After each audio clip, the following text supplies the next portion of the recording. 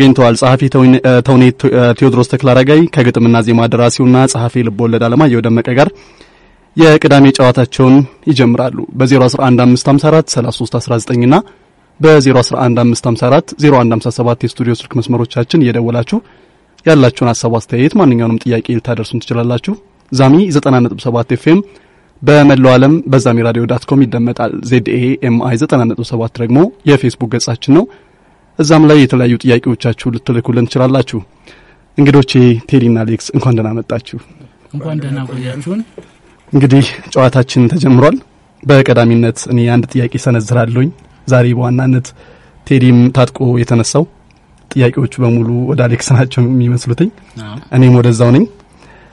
የቀዳሚ ጥያቄን ነው የማነሳው። እንግዲህ ለአሌክስ በቅርቡ እንግዲህ የወጦር የተሰኘ ፍልስፍና ቀመስ ልቦለድህን ለአንባቢያን አድርሰሃል። እንደው ከዛ በፊት ግን በዚህም ጉዳይ በተለያዩ ጉዳዮችም ላይ ጨዋታችን እናነሳለን። እኔ ከዛሬ ልጀምር። ዛሬ ለእኔ ቅዳሜ ነው። መቼም የሞኝ መልስ ነው የሚመስለው ይሄ። ለአንተ ግን ዛሬ ምንድን ነች? ለአንተ ዛሬ ከትላንትና የምትለየው እንዴት ነው? ዛሬ ስጦታ ነው ብዬ ነው የማስበው። ትላንት ታሪክ ነው። የኩንግ ፉ ፓንዳ ላይ ፊልሙ ላይ አንድ ንግግር አለው እና ዛሬ today the gift yesterday history tomorrow is mystery ነው የሚለው። ስለዚህ today the gift that's why we call it present ነው የሚለው። ስጦታ የሚለውን ነገር ነው የሚነግር እዛ ላይ። እኔም እሱን ነው ማምነው። ዛሬ ስጦታ ነው ለድርጊት የምንደረደርበት ወይም አሁን እየረገጥ ነው ያለነው ነገር ማለት ነው። እንግዲህ በስጦታችን ቅዳሜ የተገናኘ ነው። ቴዲዬ የተለያዩ ጥያቄዎችን አሰናድቷል። እኔ መቼም መሀል ላይ እንደ featuring መሀል ላይ መግባት ካልሆነ በቀር ሌሎች ነገሮች ላይ ጣልቃ አልገባም። እድሉን ለቴዲ ሰጥቻለሁኝ። ጨዋታችን ይጀምር። እሺ እንግዲህ ጥያቄያችሁ ወደ ቀጥታ ወደ ጥያቄያችን ንግባና አሌክስ ቁጥር ለአንተ እንዴት ነው? እስቲ ከቁጥር እንነሳ። ምናልባት ግጥሙም ሌላውም ላይ ከመሄዳችን በፊት ቁጥር ዞሮ ዞሮ እንደ ቃል ላይ ራሱ meaning ያለው ነገር ነው። እኔ ያው ከቁጥር ወደ ቃል ተዘዋወርኩ ላለው እንግዲህ ከ accounting ወደ ስነ ጽሁፍ ስመጣ ግን በራሱ ቁጥር ደግሞ ያው ዓለም ላይ ዞሮ ዞሮ ፊደላትንም ስትቆጥራቸው በቁጥር ነው የሚቀመጡት። አሁን ጥንታዊ ቋንቋዎች በሙሉ ማለት ነው numerology የምትለው ነገር አለ አይደለ? ከቁጥር ጋር ቃላትን እየሰካ ራሱ ቃላትን ለመረዳት ወይም ደግሞ ትላልቅ ኮዶችን ለማውጣት ወደ ቁጥር ነው መልሰ ፊደሎችን የምዘረጋው። ስለዚህ ለእኔ ሁለቱም ተያያዥነት ያላቸው ታምራዊ የሆኑ ነገሮች ናቸው። ቁጥር በራሱ ትልቅ ማጂክ ነው። አዎ እንደው ዝም ብሎ አሁን አሁን አንተ ከገለጽከው ቁጥር ወረድ ብለን ልክ ለምሳሌ ባንክ አካባቢ ስንሄድ ብዙ ጊዜ የምናስባለን ዶክተሮች ታማው ሐኪም ቤት ሄደው የሚመረመሩ ቁጭ ብለው እንደኛ የሚመረመሩ አይመስለንም። የስነ ልቦና ባለሙያዎች ደግሞ የብዙ ሰዎችን የፈረሰ ትዳር ስለሚያቃኑ ብቻ እነሱ ግን በትዳራቸው ችግር ያለባቸው አይመስለንም። በቅናት የሚንገበገቡ አይመስለንም። ተንኮሉን፣ ክፋቱን በሚሰሩ አይመስለንም እና ልክ እንደዛው ባንክ ቤት የሚሰሩ ሰዎች ደግሞ ቁጥር የሚቸግራቸው ነገር አይመስለንም እና ከዛ አንጻር እንድናየው ባንክ ቤት የሚሰሩ ሰዎች ሁለት ነገር የማይቸግራቸው የሚመስሉ ብዙ ጊዜ ለሰው የመጀመሪያ ቁጥር የማይቸግራቸውና ከዛ ገንዘብ የማይቸግራቸው እሷም አንድ ጥያቄ ነው። እንደዛ ነው የሚመስለው እና ትደናበራለህ። የትኛውም ነገር የትኛውም ሙያ ውስጥ የማትችለው ነገር አለ። የፈለገ የዛ ነገር በቃ በደንብ ጠበብት የምትባል ብትሆንም ቀሽሙን ነገር ትስታለ። ያ ባይሆን ኖሮ እኮ ኦዲተሩን ባላስፈለገ ነበረ ነው የምትለው። ለምሳሌ የቁጥር መሳሳት ለአንድ accountant አለመኖር check መደረግ ብቻ አይደለም፣ ስህተትም አለ። ከሱ ውጭ ደግሞ በስርዓት ሂሳብ ጠፍቶብህ ማለት ነው አንድ ሳንቲም ጎሎ ድፍን መምጣት አለበት። በቃ አንድ ሳንቲም የአንድ ሳንቲም ልዩነት ማለት accounting ላይ ያ ማለት መቶ ሺህ ብር አለመሆኑን ወይም ሁለት መቶ ሺህ ብር ወይም ሁለት ሚሊዮን አለመሆኑን ማረጋገጫ የለም። አንድ ሳንቲም ስተት አለ ማለት። ስለዚህ በአንድ ሳንቲም ምክንያት የአንድ አመት data ወደኋላ ተመልሰ ልታይ ትችላለህ። የቱ ነው የተፈጠረችው? እሷን እስካልፈታ ድረስ ልዩነቱ አንድ ሚሊዮን አለመሆኑን በምንም ማወቅ አትችልም። ስለዚህ እዚህ ያህል እንትን የሚል ነገር አለ እንደዛ ሊያጠፋ የሚችል ነገር አለ። አንዱ ቅድም ያልከው ነገር ለምሳሌ ቁጥር የሚቸግራቸው አይመስለንም። ቀጥሎ ገንዘብ የሚቸግራቸው አይመስለንም። ለምሳሌ የሰው ብር ስትቆጥር ትውልና ግን እንደ ማንኛውም ሰራተኛ ደግሞ ምሳ የምትበላበት ላይኖር ይችላል። አንዳንድ የምትቀላለዱት ቀልድ ባንክ ቤት አድማጮቻችን፣ በነገራችን ላይ ከገጣሚና ዜማ ደራሲ አለማየሁ ደመቀ ጋር የምናደርገው ውይይት ከዚህ ስራው በፊት የባንክ ባለሙያ ስለነበረ ነው ይሄን ጥያቄ የማነሳውና ያን ሁሉ ብር እየቆጠርክ ለሰው ስትሰጥ ስትቀበል ትውልና ቀጥሎ ግን የምሳ ደግሞ አይኖርም። እንዲህ የምትቀላለዷቸው ቀልዶች ነበሩ ወይ? አሁን እንኳን አላስታውሳቸው ማለት ሁልጊዜ ትዘላለፋለህ። በእርግጥ በሆነ ነገር የምትነጋገረው ነገር አታጣም። ግን አሁን እንደዚህ ብዬ በቃ ይሄ ነገር ተቀለደብኝ ይህን እንቀልጃለሁ የማስታውሰው ነገር የለም። ግን በደንብ በደንብ ነው በዚህ ታላግጣለህ በህይወት ማለት ቁጭ ብለህ ስቆጠር ውለህ በኋላ ላይ አንድ ብር የማይኖርህ አይነት ነገር ምናምን ሲሆን ህይወት ላይ እንድታላግጥ ያው ህይወት ላይ የምታላግጠው መቼስ እሷን በአካል አግኝታ አይደለም እዛው የሚኖራት ሰው ላይ ነው መልሰ አዎ። እንትን የምትወርደው። እሺ እንግዲህ ይሄኛውን ውይይት በዚህ ላይ እንትን እንበልና እንግዲህ ከዚህ በፊት ወይም በኋላ ወደ ግጥምና ዜማ ድርሰቱ ነው የሄድከውና ምንድን ነው አሁን ለምሳሌ የግጥም መነሻ ሊኖር ይችላል። የሆነ ግጥም ታነባለህ፣ ቀጥሎ ደግሞ የሆነች ነገር ግጥም ትሞነጫጨርና ቢያንስ ለአማርኛ መምህር ትሰጥና እሱ ሊያርምልህ ይችላል፣ ወይም እንደዚህ ሙከራው አለ። ለዜማ መነሻ ግን ምን ይሆናል? ዜማ እንሰማለን። ከዛ ውጭ ግን ዜማን እንደ ድርሰት ዜማ መድረስ የሚቻል ነገር መሆኑን ማወቅ ራሱ ትንሽ እድሜን የሚጠይቅ እና ለዜማ ድርሰት መነሻ ምንድን ነው? እኔ ሳስበው ማለት ነው አሁን አንዳንድ ጊዜ እኔ የጀመርኩበትን ሁኔታ ሲታይ እኔ ግጥም ለመጻፍ ነው የተቀመጥኩት። ስለዚህ ለዘፈን የሚሆን ብዬ ማሰበ ብቻ ነው የተለየ ነገር ያደረገው። ምክንያቱም ከልጅነት ጀምሮ ግጥም እጽፋለሁ፣ ግን ለዘፈን ብዬ አይደለም እጽፈው። ስለዚህ ለዘፈን የሚሆን ግጥም ለመጻፍ መቀመጤ ብቻ ዘፈን የሚለውን ነገር ያ ዘፈን ደግሞ ከልጅነቴ ከአራተኛ ክፍል ጀምሮ እኔ ውስጥ ስዘፍነው ትምህርት ቤትም ተገድጄ ስዘፍነው የኖርኩት ነገር ነው እስከ መጨረሻው ድረስ። ስለዚህ እኔ ውስጥ ማንጎራጎር እኔ ውስጥ የነበረ ነገር ነው። ለዘፈን ብዬ ማሰቤ እንደ file name ያንን ቦታ ነክቶታል ማለት ነው። እንዳንጎራጉሮ አረገኝ ግጥም። ስለዚህ ድንገት ነው። ስለዚህ ብዙዎቻችን ውስጥ ዜማ ውስጣችን አለ ብዬ አስባለሁ።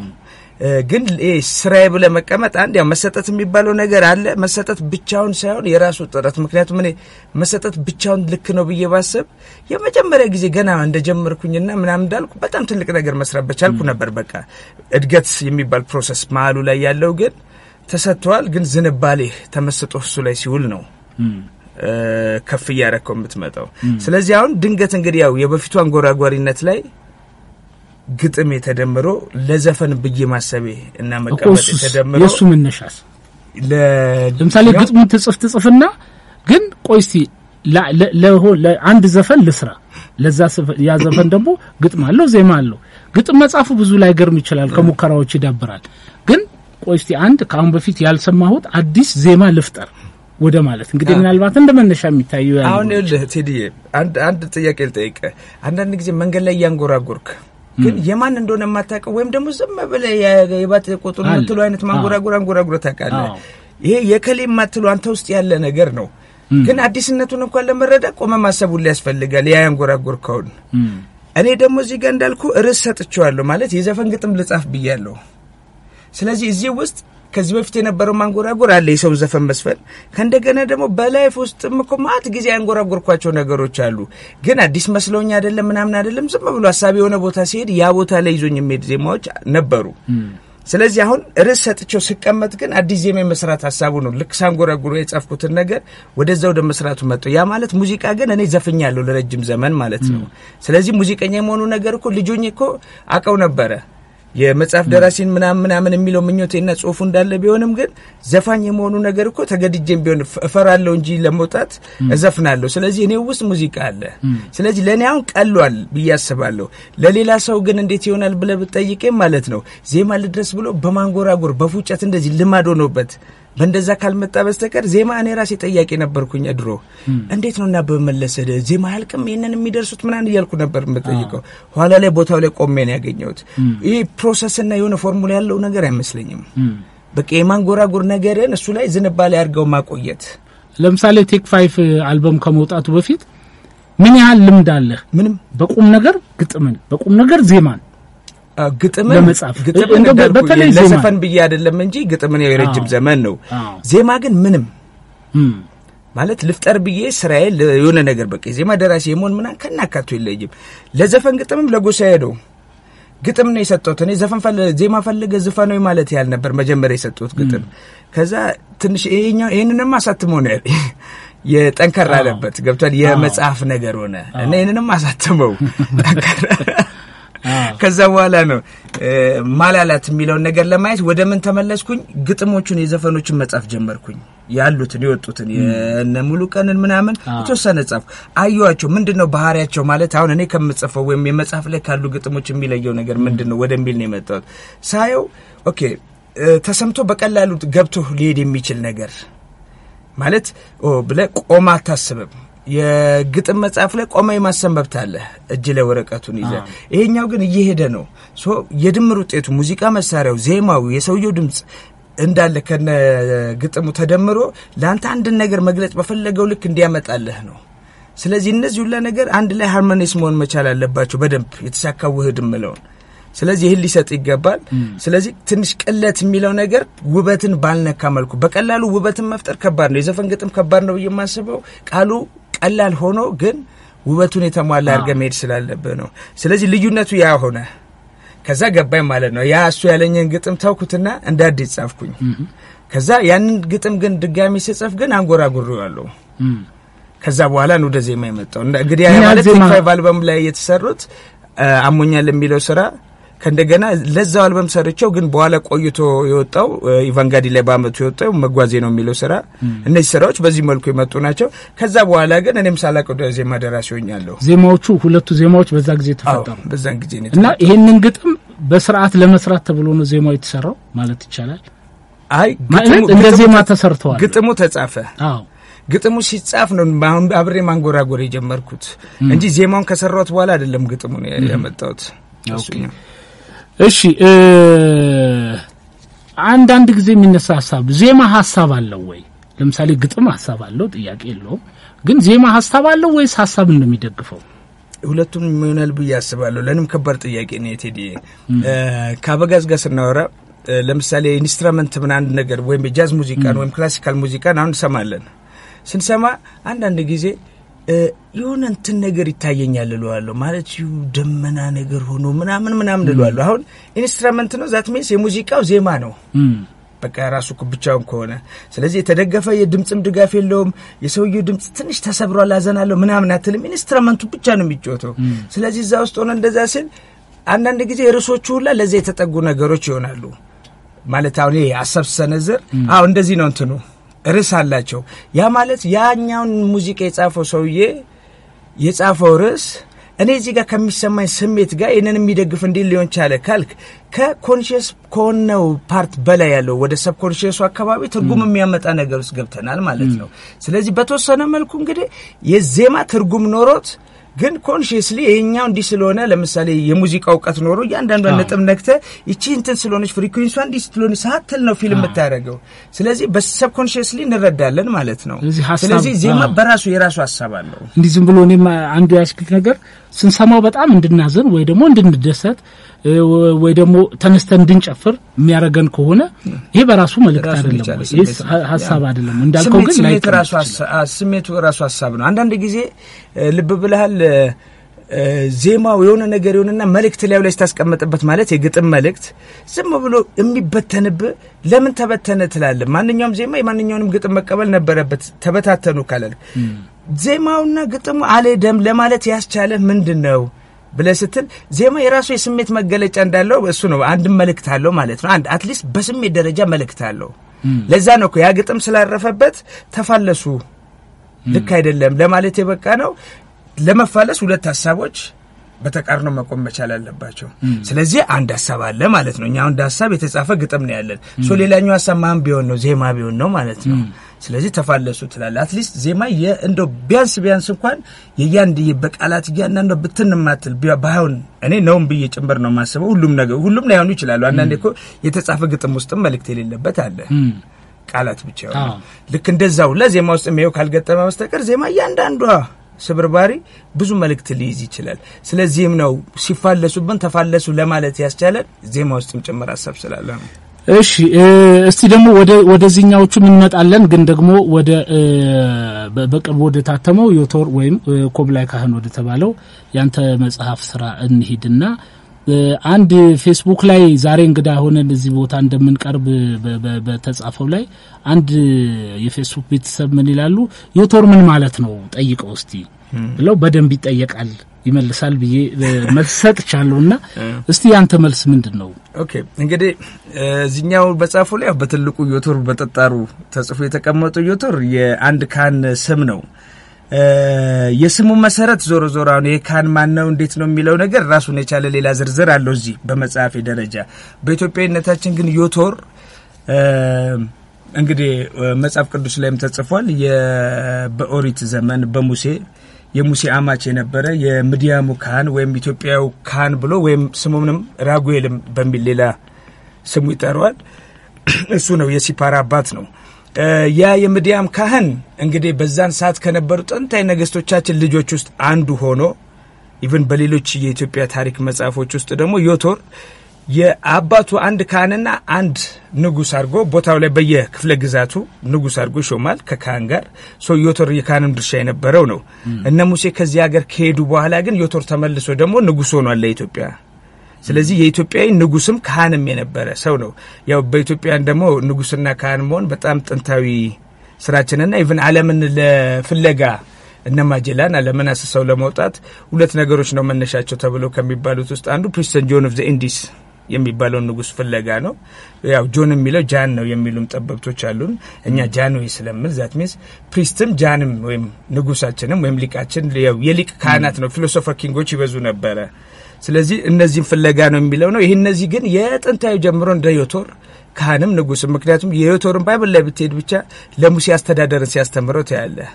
በቀበሌ በአምሳ አለቃ በመቶ አለቃ ነገርን ደርድሮ ህዝቡ እንዴት ማስተዳደር እንዳለበት ሲሰጠው የነበረ የአስተዳደር እውቀቱም ጥልቅ የሆነ ያኔ እንግዲህ አስተዳደር በዚህ መልኩ ባልተከፋፈለበትና ብዙ ባልተነገረበት ዘመን ያ ማለት መቶ ዓመት ከክርስቶስ ልደት በፊት አካባቢ የዚህ አይነት ትምህርት ሲሰጥ የነበረ ነው ሙሴን። ስለዚህ ሙሴን አርባ ዓመት ክህነትን የሚያስተማረ አስተዳደርን የሚያስተማረ በመጨረሻም ወደ ከግብፅም የሚያወጣበትን መላ አብሮ የዘየደ ማለት ይቻላል። ምንም እንኳን ትንቢቱን እና እንትኑን ትእዛዙን ይዞ ሄደው ሙሴ ቢሆንም ሲመጣም ለእስራኤሎች የመጀመሪያው መስዋዕት ያቃጠለ ዮቶር ነው እና እሱ ካህን ነው Bible ላይ ያለ። ስለዚህ እኔም ውስጥ እኔም መጽሐፍ ላይ ያለው ዮቶር ካህን ነው፣ ስሙም ዮቶር ነው። ስለዚህ ለአንድ ልጅ destiny ውን ለማስተካከል ነው ልክ የሙሴን destiny ያኛው ዮቶር እንዳስተካከሉለሁ። መልካም። እስኪ ዘግይተው የሬዲዮ መስመራቸው ተመልሰናል። የምንወዳችሁ አድማጮቻችን ጨዋታችን ይቀጥላል። ቴዲ የተለያዩ ጥያቄዎችን በተለይ ዮቶር ላይ መሰረት አድርገህ ጥያቄዎችን እያነሳ ነበር ለአሌክስ። እንደው እንዲሁ ቀጣይ ጥያቄዎችን ከማሰማት በፊት እኔ አንድ ጥያቄ ማንሳት ፈልጌ ነበር። ዮቶር ገጽ 19 ላይ ስለ እውነትና ስለ ስቃይ የሚያወራ አንድ ክፍል አለ። እውነትና ስቃይን እውነት ስቃይን ታስረሳለች የሚል አይነት አንድምታ አለው። እንደው ስታስበው እውነት የስቃይ ምንጭ አትሆንም ወይ? ሰዎች እውነትን ስለያዙ የስቃይ ተካፋይ የስቃይ ባለቤት ሳይሆኑም ወይ? እንደዛ ብለህ ታምናለህ ወይ? እውነት ስቃይን ታስረሳለች ወይንስ ደግሞ እውነት ለስቃይ መንገድ ትሆናለች ወይ? እንደ መቼ ይሄ በጣም ከባድ ጥያቄ ነው። እንደ እንትን ካየው ባብላጫው ለእውነት ሲባል ብዙ ስቃይ ትቀበላለህ። ስለዚህ እውነት የስቃይ ምንጭ ልትሆን የምትችለው ሰዎች ለእውነት ስለቆሙ ነው ስቃይ የሚደርስባቸው ማለት ሌሎች ሰዎች ሰንዛሪዎቻቸው ነው የሚያደርሱባቸው። አሁን ከአንተ ጋር የታረክበት እውነት ሲሆን ፔን የሚባለው ነገር አሁን ባብላጫው አንተ ላይ ሰዎች የሚያደርሱብህ አይደለም። አንተ በኑሮ ነገሮች ውስጥ የተቀበልከው ነገር ነው ፔን። ስለዚህ ፔኑ ቀድሞ ነበረ። ከእውነቱ ጋር በታረክ ቁጥር ስቃዩን እያቆምከው ትሄዳለህ ነው። ስለዚህ አሁን የሚመጣብን pain አይደለም፣ መጀመሪያም pain ውስጥ ነው ያለው። ስለዚህ አሁን ብዙ ጊዜ አንተ ያልክበት angle ለምሳሌ ለእውነት ብለህ ስለቆምክ ከዛ በኋላ የሚከሰቱብን ነገሮች አሉ። ስለዚህ ይሄኛው አንድ ነገር አለ፣ መስዋዕትነት የሚያስከፍል ነገር ነው። ይህን ለመቀበልም ዝግጁ የሆነ ነፍስ አደራጅተህ ነው።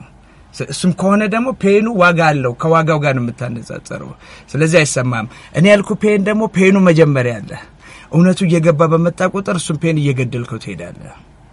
ስለዚህ ሁለት ነው ሪዝኑ። ያ ማለት ግን የመጀመሪያው ስቃይ ነው ማለት ነው። የመጀመሪያ ስቃይ አለ ወይም ደግሞ ውስጣችን ያለው እሱ ነው። አብላጫው የውስጣችን ውስጥ ስቃይ አለ። ለምሳሌ በኑሯችን ውስጥ አሁን እያንዳንዱ ነገር የሚያሳቅቀን ምናምን የምንለው አጣ ነው የምንለው ብዙ ነገር አለ። ጎደለን የምንለው ብዙ ነገር አለ። በአመለካከትም እንዲህ ነው እንዲህ ነው ብለን ያሰመርናቸውና ያቀለምናቸው ብዙ ነገሮች አሉ። እነዚህ ሁሉ አሁን ላለን ስቃይ ለእያንዳንዱ ጠብታ ምንጭ ናቸው። ስለዚህ ከእውነቱ ጋር መታረቅ ማለት ወደ ራስ ውስጥ ገብተ እያንዳንዷን ነገር በጥሞና ማየትና እውነቱን ማግኘት ነው። ከዛም መቀበል ነው። አንዳንዱ ደግሞ የማትችለው የማትጋፋውም ይሆናል። በመቀበል ውስጥ ራሱ ፔን ይሞታል። ምክንያቱም ፔን ብዙ ጊዜ ከመታገል ጋር የሚመጣም ነው። መቀበልም ሌላ ሶሉሽን ነው። ስለዚህ አንድ መንገድ ብቻ አይደለም። ከስቃይ ለመገላገል አንድ መንገድ ብቻ አይደለም። ከእውነትም ጋር ለመታረቅ አንድ መንገድ ብቻ አይደለም። አንዳንዴ መቀበልም እውነት ሆኖ ታገኘዋለህ። አንዳንድ ጊዜ ስኬት ብለን የምናስበው ሄደን ተንደርድረን ያገኘነውን ነገር ብቻ ነው። ይፍሰስም ይቅርም ማለት እሱ ራሱም ስኬት ነው፣ በቃም ማለት። ስለዚህ ለእያንዳንዱ ነገር አንድ መፍትሄ ብቻ አይደለም። በአብላጫው የሰው ልጅ የኛውን መንገድ አላየውም ብዬ ነው የማስበው። ግን እንዲህ ከሆነ የእኛ ጉዞ አሁን ወዴት ነው? ከመልካም ወደ መጥፎ ነው ወይስ ደግሞ አሁን መጀመሪያ ስቃይ ያለ ካለ ከመጥፎ ወደ ጥሩ ወደ መልካም እየሄድን ነው ወይ ማለት ነው? አሁን ይኸውልህ መጀመሪያ ስቃይ ያለ የሚለው ነገር ስንወለድ አይደለም። ዞሮ ዞሮ እሱን ካልክ አሁን genetically በሆነው ነገር ዞሮ ዞሮ ከአንዱ ወደ አንዱ እንግዲህ የአዳም ሀጢያት እንደምትለው ወይም ደግሞ በአጠቃላይ አዳምን ባይሆን የማንም ቢሆን genetically ጉድለቶች አሉ ስለዚህ ያኛው በራሱ መንስኤ ይሆናል። ይሄን ግን ምንም ልታደርገው የማትችለውና የምትቀበለው ይሆናል። እዚህ ላይ ቆመ ግን ካደግክ በኋላ ህግም ልማድም ምንም አውጥተውት ተነባብሮብን ለሆነ ነገር ጭንቅላት ይሄ ነው የሚታሰብ መታሰብ ያለበት መንገድ ነው ይሄ ነው ይሄ ነው ተብሎ ትምህርቱም ምኑም የሰጠ ነገር አለ። ስለዚህ ይሄ በሙሉ ለአብላጫው ጊዜ ለስቃይ የሚያጋልጥ ነገር ሆኗል። በቃ የምታየው ነገር በሙሉ ሁሉም ነገር ሚስጥር ውስብስብ ምናምን ሆነ በአስቸጋሪ የሆነ ዓለም ውስጥ ነው ያለ ነው። ስለዚህ ፔኑ አለ በምታየው ነገር ሰዎች በሚኖሩት አንተን በሚገጥምህ። ስለዚህ አሁን ዞሮ ዞሮ ይህንን ነገር የማጽዳቱ ጉዳይ ነው። እያጸዳ እያጸዳ at least ከ pain ነት እያወጣ ወይም ደግሞ አንዳንዴ አለመከተልም ጭምር ይሆናል። ከዛ ነገር ራስን ማግለል ሊሆን ይችላል። ብቻ ወደ ውስጥ ነው አብላጫው ጉዞ የሚደረገው። አለዛ ግን ረጅም ጎዳና ነው። የሚሰማን ነው ግን አለ ወይስ ማለት አንዳንዴ ምን ብዬ ነው የማስበው እነዛ መጥፎ የምንላቸው እርግማን የምንላቸው ክፋት የምንላቸው ነገሮች በእርግጥ አሉ አሉ በእርግጥ ወይስ እኛ እንደዛ ብለን ነው የተቀበልናቸው? በተጨማሪ የሰው ልጅ በነጻ ፍቃድ መኖር ይችላል ወይ? እስራት የለበትም ብለህ ታምናለህ? አሁን ከዚህ ጋር አለው እስራት አለው። አሁን ቅድም የነገርኩ ነገሮች እኮ ነጻ ፈቃድ ተሰጥተዋል። ያ ነጻ ፈቃድ ግን ዞሮ ዞሮ አሁን ማንኛውም ነገር ማንኛውም የሚወጣ ህግ ለህግ ተርጓሚ ወይም ህጉን ለሚጠቀምበት አካል ወደ ፈለገው አቅጣጫ መገልበጥ የሚችል ነው። ስለዚህ ነጻ ፈቃድ አለ። ፈቃዱ ተሰጥቶ ግን ነጻ የሚለውን ነገር ነጻነቱን የማታገኝበት ሁኔታ ቢኖር በምርጫ ነው ተብሎ ሁለት ነገር ቢቀርብልህ ሁለቱም ነገር አንተን የሚጎዳ የሚሆን ነው። Okay መርጠህ ነው ግን ስለዚህ መርጠህ ተጎዳም እኮ ሊሆን ይችላል እየተባልክ ያለው ስለዚህ ፈቃዱ ይሰጣል። አንዳንድ ጊዜ በጣም ዲሞክራሲ ሰጥቶ ግን ያንን የሚያግር ነገር እንደማስቀመጥ ማለት ነው። ስለዚህ ማንም የከለከለ የለም። ያን ካደረክ ግን ችግር አለ። ስለዚህ የተሰጠህ ነገሩ ለአንተ ፈቃዱ አለህ። አዎ እንደውም ጥሩ ጥሩ ነገር እሱ ነው የሚሆነው። ፈቃዱ አለህ ነው የምትባለው። ግን ምንም ነጻ ነው ተብሎ አሁን ወደ ባርዮሽም ስርዓተ ማህበር ወደ ማንም ብትመጣ ነጻነት ተሰጥቶት አንድ ባሪያ ግን ደግሞ መሬት እንዳያገኝ እንትን እንዳያል ምናምን ነገር ብታረገው ነጻነቱ እኮ ተሰጥቶታል። ግን ምንም ነጻነቱ ሊተገብርበት የሚችል አንድም ነገር ግን የሚያገኝበት መብት አይኖረውም። ስለዚህ ነጻ የሆነ ከሆነ ሰውዬ ቤት በነጻነት መለቀቁ ወይም ከአቶ ከሌ ባሪያ ነው ከመባል ብቻ መዳኑ ይሆናል። ስለዚህ አንዳንዴ በጎ ፈቃድ ነጻ ፈቃድ ቢኖር will ኡ ቢኖር በምርጫ የሚለው ነገር በምርጫ ጎዳናው የማን ነው ነው እዚህም ላይ አስቀምጨዋለሁ። በነጻ ፈቃድ ትጓዛለህ። በዛ ጉዞ ውስጥ በዚያ ጎዳና አንተ በነጻ ፈቃድ ያገኘው መንገድ ውስጥ የሚኖረውን ሁላ ታስተናግዳለህ ነው that means ፈቃድህ በዚህ መንገድ ለመሄድ ወይም በዚህ መንገድ ለመሄድ እንጂ ያ መንገድ የያዘውን ነገር ግን ታስተናግዳለህ ወይም ያ መንገድ ያስተናገደው ነገር በሙሉ አንተ ላይ affect ሊያደርግ ይችላል። ስለዚህ ፈቃዱ አለ። የተወሳሰበው ዓለም ከሆነ ፈቃዱ ይሰጣል። ዞሮ ዞሮ ግን በየትም በየትም ብትሄድ ነገሮች ተቀምጠውልሃል። ስለዚህ አሁንም ትግሉ የማይቀር ነው። ካልሆነ ደግሞ ያው ተማምነህ መቀበል ነው። ተማምነህ መቀበልም ብለህ ማውረድ ይቻላል። አንዳንድ pain ኦችን ለምሳሌ ሲገረፉ ያው ፊልምም ላይ ምናምንም ስናይ አንዳንድ ጊዜ ውሸት የሚመስሉ ነገሮች አሉ ከ meditation ጋር የተያዙ ምንም ነገር ሲደረጉ ሌላ ዓለም ውስጥ ሆነው ይሄ ነገር ሳይሰማቸው ሲያልፉ ምናምን የምታያቸው አለ። ፔንን መግደል ነው። ገብተዋል። በቃ አሁን የስጋው ፔን ውስጥ ድረስ ፔኑ ጠልቆ እንዳይሰማው ሲያደርግ ታገኛለህ። ከብዙ ልምምዶች በኋላ የሚያመጧቸው ነገሮች ነው። ያ ማለት ሰውየው አልተገረፈም አይደለም፣ አልተሰቃየም። ስለዚህ ግርፋቱ አለ፣ ስቃዩ ነው የማይኖረው። ስቃዩን መግደል የሚችል ሰው አንዱ በሌላው በተለያየ መንገዶች አሉ። አዎ አሁን እነዚህ እንደ አንዳንዴ ደግሞ እንደ ክፋት እንደ ክፋት የምንለው ተንኮል የምንለው ምቀኝነት የምንለው ስቃይ የምንለው በሽታ፣ ርዛት የምንላቸው ነገሮች ለምሳሌ በሆነ ኃይል ቢጠፉልን ያስፈልጋሉ ወይስ ያ መጥፋታቸው በራሱ ያስፈልጋሉ ወይ? አንዳንድ ጊዜ እንደውም ትንሽ ከረር ካረግ ነው ከመልካሞቹ ነገሮች ይልቅ እነሱስ አይሻሉም ወይ? እንደ ምርጫ ላንፈልጋቸው እንችላለን፣ ግን መልካም ነገር ብቻ ቢሆን እዚህ እንደርሳለን አላስብም። እንግዲህ ህግ አለ። ዞሮ ዞሮ ያው ሁለት አይነት እንትኖች፣ ሁለት አይነት ጾታዎች፣ ሁለት አይነት አቅጣጫዎች አሉ። positive፣ negative፣ ጨለማ እንትን እያልክ ማለት ነው። እነዚህ ዞሮ ዞሮ ማንም ነገር እንዲሽከረከር የሚያደርጉ ነገሮች ናቸው። ያለ ሁለቱ ነገር ያ መሽከርከር አይፈጠርም። ስለዚህ የህይወት ሞት የህይወት ሞት ምናምን ነገር እያልክ ያ መሽከርከር ነው። ምክንያቱም የአንዱ ቦታ ሞት የሌላ ቦታ ውልደት ነው ብዬ ነው ማምነው። ስለዚህ መሽከርከሩ እንዲኖር ወይም ዓለም ራሷ ባላት መሽከርከር እንድትሄድ እንዳልኩ ሰሜንና ደቡብ ዋልታዋ በጣም ወሳኝነት አላቸው። ስለዚህ negative እና positive የሚለው አለው። ይሄ ነገር ግን አንዱ ከአንዱ ጋር አሁን ለምሳሌ ጨለማ የለም ብዬ ጻፍኩበት አለ። ጨለማ የለም ማለት ጨለማ የራሱ ህልውና የለውም እንጂ የምናየው እኮ ጥቁር ነገር አለ አይደል? እዛ ጨለማ ውስጥ የራሱ ህልውና ካለው ምንጭ ሊኖረው ይገባ ነበረ ብዬ ብል ግን የብርሃን ግርዶሽ ነው ምለው። ስለዚህ ግርዶሹ የግድ ዓለም መሽከርከር ስላለባት ማለት ነው። ወይም ደግሞ ወይ ግርዶሹ እንዲፈጠር የሆነ የዓለም መሽከርከር ነው። ምክንያቱም ደረቷን ለዓለም ለፀሐይ ስትሰጥ ከጀርባ ያዘለቻቸው ደግሞ ጨለማ ውስጥ ይሆናሉ። ያ ማለት የዓለም ደረት ነው ለዛኛው ግርዶሽ መንስኤው ነው። ስለዚህ ሁልጊዜም ሁለቱ ነገሮች አሉ። ግን አንዱን አንዱን እያወደስክ እንድትኖር ወይም ደግሞ መሽከርከሩ እንዲኖር መሽከርከሯን ብታቆም ዓለም እንረግፋለን ሁላችንም አበቃ ህይወት ሙሉ ለሙሉ ነው የሚያበቃው። ስለዚህ ይሄ መሽከርከር እስካለ ድረስ እነዚህ ነገሮች አሉ። ስለዚህ አሁን ቢጠፉ ኖሮ ምናምን ብለን የምናስብበት ሁኔታ እንዳልኩ ቢቆም ኖሮ ብሎ ማለትን ያህል ነው። የማይጠፉ ናቸው። ሪዝናቸው የመሽከርከሯ ነው ሁሉ ነገር። ህይወት ወደ ሞት መሄዱ አንድ መሽከርከር ነው። ያ ሞት ደግሞ ሌላ ህይወት ነው። ምክንያቱም ስንዴም ሲሞት ነው ሌላ ፍሬ ሊያፈራ የሚችለው። አንድ ስንዴ ስዘራው ሞቶ ነው የሚያፈራው። ስለዚህ ይህም መሽከርከር ነው። ስለዚህ life ውስጥ ሁሉም ነገሮች መሽከርከራቸው የግድ ነው። አሁን ትክክል ነህ። እንደዛ እኔም ይሰማኛል። አሁን ቴዲ ያነሳቸው ጉዳዮች ላይ አንጻራዊነትን የምናይበት መንገድ አስታወሰኝ። ዮቶር ላይ ኮብላዩ ካህን ገጽ 37 ላይ የሚያነሳው አንድ ጉዳይ አለ። ሰዎች ሀብት ንብረታቸው እየተትረፈረፈላቸው ሲሄዱ ደግነት እንዲያውም እየቀነሰባቸው እንደሚሄድ የሚያውሰው ነገር አለ። አንድ ቦታ ላይ ደርሰው ወደ ግቢው አጥር ሲመለከቱ የሰውየውን ሀብትና ንብረት ውጫዊ ነገሩን አዩ። ነገር ግን የሰውየውን ልቦና ያልመዘኑበትን መንገድ ኮብላዩ ካህን የሚያነሳው ነገር አለ።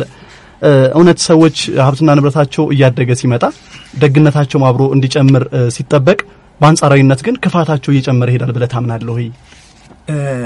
አልጠቀልልም ማለት ጄኔራል የሆነ መልስ የለውም። እንደ አጋጣሚ የሆነ አሁን አንተ የገለጽከው ቦታ ላይ ያለው ሰውዬ ልክ እንደዚህ አሁን ያልከውን አይነት ሰው ነው የተነሳው። ግን ከሱ ይልቅ አሁን እሱ ትልቁ መልእክት ያለው እዚህ ጋ ያለው አጠገቡ ክፍት የሆነ ቤት አለ የሀጂው ይሄኛው ጥርቅም ተደርጎ አጥሩም እንኳ አጥሩ የአጥሩ ርዝመት የቤቱን ውስጥ እንዳታይ በሚያደርግ ቁመት ልክ የተደረገ ቤት ነው። አጠገቡ ደግሞ አጥሩ ያዘመመና ግን ከውጪ ከውስጥ ወደ ውጭ የሚያበራ የኩራዝ ብርሃን የሚታይበት ቤት ነው እና ክፍትም ነው። ስለዚህ ምልክቱ ማለት እንደምን ክፍት ሆኖ ያለ ቤት እያለ አጠገብ የተከረቸመ በር ክፈቱልኝ ብለህ ስታንኳኳ ትገኛለህ ነው ትልቁ መልእክት ያለው። ወደ አንተ ጥያቄ ግን ስመጣ ይሄ ነገር የፈለገ ይህንን ነገር ሊያጎላ ቢፈልግም ማለት ነው ሰዎች እዚህ ነገር ላይ ሀብታቸው በጨመረ ቁጥር ክፉ ይሆናሉ ወይ ካልከኝ ሀብትን ለመጨመር ጭንቅላት አብላጫው ጊዜው ምን ላይ ያዋለው ነው። ለምሳሌ ቁስ አካላዊው ነገር ላይ በጣም በሰጠ ቁጥር ከነፍስ እየቀነስክ ትሄዳለህ። ምንም ጥያቄ የለብኛው ምክንያቱም የዓለም ክብደት አይጨመርም አይቀንስም። የሁላ ቢሊየን ደርሰናል ከአንድ ሰው ተነስተ እና ክብደት የማይጨመር ከሆነ ምን እየሆን ነው? ከአፈር እየተነሳን ወደ አፈር እየሄድንም ስለሆነ ነው፣ እየተገላበጥን ነው። ስለዚህ አንተም ዛሬ ጭንቅላትን አንድ ነገር ላይ በጣም ስታደርገው ሌላ ጊዜ ከምታደርጋቸው ነገሮች ቀንሰ ነው።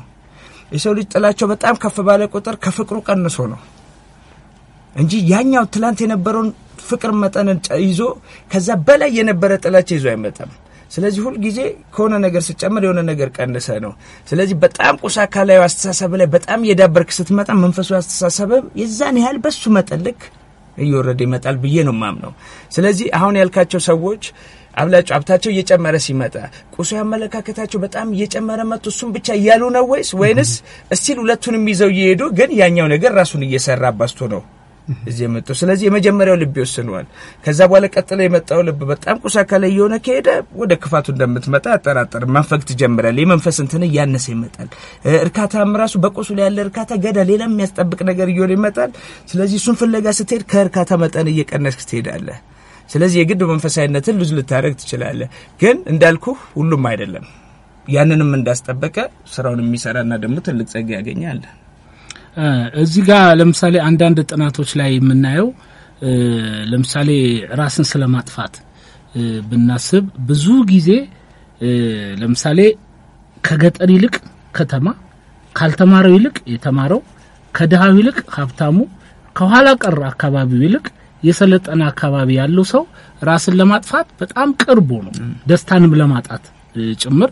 ምክንያቱም ራስ ማጥፋት እንግዲህ በተለያየ ምክንያት ቢሆንም በአመዛኙ ግን እንደው ተፈላስፈ ተፈላስፈ እስቲ ቆይ ልሞክረው ይሄን ነገር ብለህ አይደለም። ደስታ እየጠነፈፈ እየጠነፈፈ ሲመጣ ወደዛኛው ጫፍ ከዛ ምንድን ነው ያለው ትርጉም ብለህ ጫፉን የነካኸውም ስለመሰለህ ሊሆን ይችላል እና እነዚህ ነገሮች ምንን ነው አለማችን ላይ ምንን ነው የሚያሳዩን? የትም ቦታ ስንሄድ ይህንን ነው የምናየው። ክረት ነው። በጣም ክረት፣ ጭንቀት ማለት life በጣም ክረቱ በዝቷል። በቃ stress የምትለው ነገር የምትይዘውን የምትጨብጠውን የሚያሳጣ ደረጃ ላይ እንደደረሰው እዛ ላይ ራሱ የካህኑ ንግግር አለ። የምትሮጡበትን ስለ መንፈሳዊ ስልጣኔና ቁስ አካላዊ ስልጣኔ የሚነግርን በቃ እንዳለ የእኛ ሩጫችን በሙሉ አንዳንድ ጊዜ በጣም ትንሽ ነገርን ጥበቃ ነው። ረጅም እድሜ የሚባልም አይደለም የሰው ልጅ እድሜ ዚህ ነው ያህል ለዚች አጭር እድሜ በምትለው ማለት አትስራ አትብጋ ምናን የሚል ነገር የለውም። ከልካይ ሀሳብ የለውም ለየትኛውም ነገር። በእርግጥ ግን ሩጫችን በጣም ጥልቅ የሆነና የህይወት ጥያቄ ተጠየቅን የሚመስልበትን አይነት ሩጫ ነው የምንሮጠው። ሪዝኑ ሲባል ደግሞ መንስኤው በጣም ትንሽ ነገር ነው። ለምሳሌ አሁን የቤት ኪራዩን አንስቶልሃል እዛው ጋር ለቤት ኪራይ የምትከፍሉትን ነገር ፍለጋ የህይወታችሁን አብላጫውን ሰዓት በየስርቻውና በየአደባባይ ውስጥ ስትመላለሱ ነው የምትውሉት ይላል።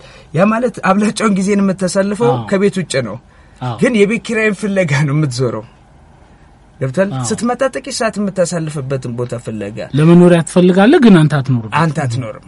እንደዚህ አይነት ነገር ነው እና stress ኣችን ያኛውን የኑሮ system ፈጥሮታል። ገብቷል። አሁን ቅድም ያልኩ የሰው ልጅ እንትኑ አለው፣ ግን ደግሞ እንዲታገል ሌላ ነገር ላይ እንዲታገል ሆኗል ብዬ አምናለሁ እኔ ገብቷል። እዛኛው ላይ በታገለ ቁጥር በቃ ያው መጠቀሚያ ነው። ዞሮ ዞሮ ያው የሰው ልጅ ማን ነው መጠቀሚያ የሚያደርገው ብትል ሌላኛው የሰው ልጅ ዞሮ ዞሮ እና የኑሮ ሲስተማችን ተሰምሯል በሆነ መንገድ እና እሱ ላይ ብቻ እናተኩራለን። ብዙ የረሳናቸውና የጣልናቸው ነገሮች አሉ እና ብዙ እየፈጋንለት ያለው ነገር በአብላጫው ጥያቄ መሆን የማይገባው ነገር ላይ ነው። ስለዚህ ያው ትንሽ የተመረዘ ነገር አለው እና ያ ነገር ያ ክረት የሰው ልጅ ራሱን እንዲያጠፋ ወይም እንዲያብድ ለማድረግ እርግጠኛ አሁን ያለው የአእምሮ ህመምተኛ ቁጥር በፊት ካለው ጋር ሲነጻጸር በብዙ እጥፍ ብዙ ነው። አሁን ነገሮች እየከረሩ በመጡ ቁጥር የአእምሮ ህመምና suicide እየበዛ ይመጣል፣ ራስን ማጥፋት። ስለዚህ አሁን ዓለም ላይ ያለውን ነገር ስታይ ክረት ነው። ዜናዎችን መመልከት እኮ ነው። በየቀኑ የምትሰማው ነገር ጥፋት ነው። ይህን ያህል እንትን አለቀ ምን አለ ነገር ያው ዜናው ራሱ አንዱ ሳቦታዥ ነው ይመስለኝ። ሲጀመር ከ destruction ውጭ ከጥፋት ውጪ እ፣ ውልደት ዜና አይደለም። ካየው ሌላ መልካም ነገሮች ብዙ ዜና አይሆኑም። ሰው ማዳመጥ የሚፈልገው ይህንን ነው ካልክ መጀመሪያ ስለሰራከው ነው ሰውን እና ይሄ ደግሞ ይበልጥ ክረቱን ጭንቀቱን ያበዛዋል። ገብቷል የምታየው ነገር ምናምን፣ ምክንያቱም energy ነው ሁሉም ነገር ወደ አንተ የሚገባው ነገር ነው ወሳኙ። ስለዚህ የምታየው ምናምን ዜናው ምኑ ምኑም የሚነግር ነገር በሙሉ በቃ የሰው ልጅን ወደ ተስፋ መቁረጡ የዓለም የመጨረሻ ጊዜው ያደርሷል ምናምን ወደሚለው በቃ ወደ መዝቀጡ ነገር እያመጣው ነው የሚሄደው። እንዲህ አይነት ሰው ደግሞ ሌላውንም ሌላውም ላይ ሌላ ነገር ለማድረግ ቀርቶ ተስፋ የሌለው ሰው ሌላውንም ለመበደል ለመግደል እንኳን ራሱን ለማድረግ ወይ የሰራው? ለምሳሌ ከሆነ ቦታ ተሰርቶ ከሱ ቁጥጥር ውጭ የሆነ በራሳቸው ግን እየከረሩ እየከረረ የመጣ ነገር ቢሆን አዎ። ግን ምድሯ እንዴት ሰርታለች? የሰው ልጅ በፈለገው እንዲጠቀምበት እድሉም አካፋውም ዶማም ተሰጥቶት ሰርተ ብላ ተብሏል። በዛ ሂደት ውስጥ ራሱ የሰው ልጅ በማወቅም ባለማወቅም እያከረረው እያከረረው እያከረረው በኋላ መመለስ ማጣት። ለምሳሌ አሁን ስታይ ብዙውን ነገር ስታይ ወደ ነበረው የመመለስ ፍላጎቱም የለም። ፍላጎቱም ካለ ቁጭ ብለህ እንደ በሆነ መንገድ ብቻ ብድግ ብለህ እዛ ቦታ እንድትገኝ መፈለግ እንጂ ወደ ነበርክበት ለመመለስ ምንም እሱን ምንም ሂደቱም የለም። ግን ያው ዞሮ ዞሮ ራሱ ራሱ አይደለም የሰራው እንዳልኩ ለሚለው ማለት ነው። sorry ያው የሰው ልጅ እንዳለ ሁሉም የሰው ልጅ ነው። ዞሮ ዞሮ ግን አሁን የሰው ልጅ እኮ ለዘመናት በ kingship ያው በነገስታቱም በለው በአስተዳደር በለው በምን በጥቂቶች የሚተዳደር ነው።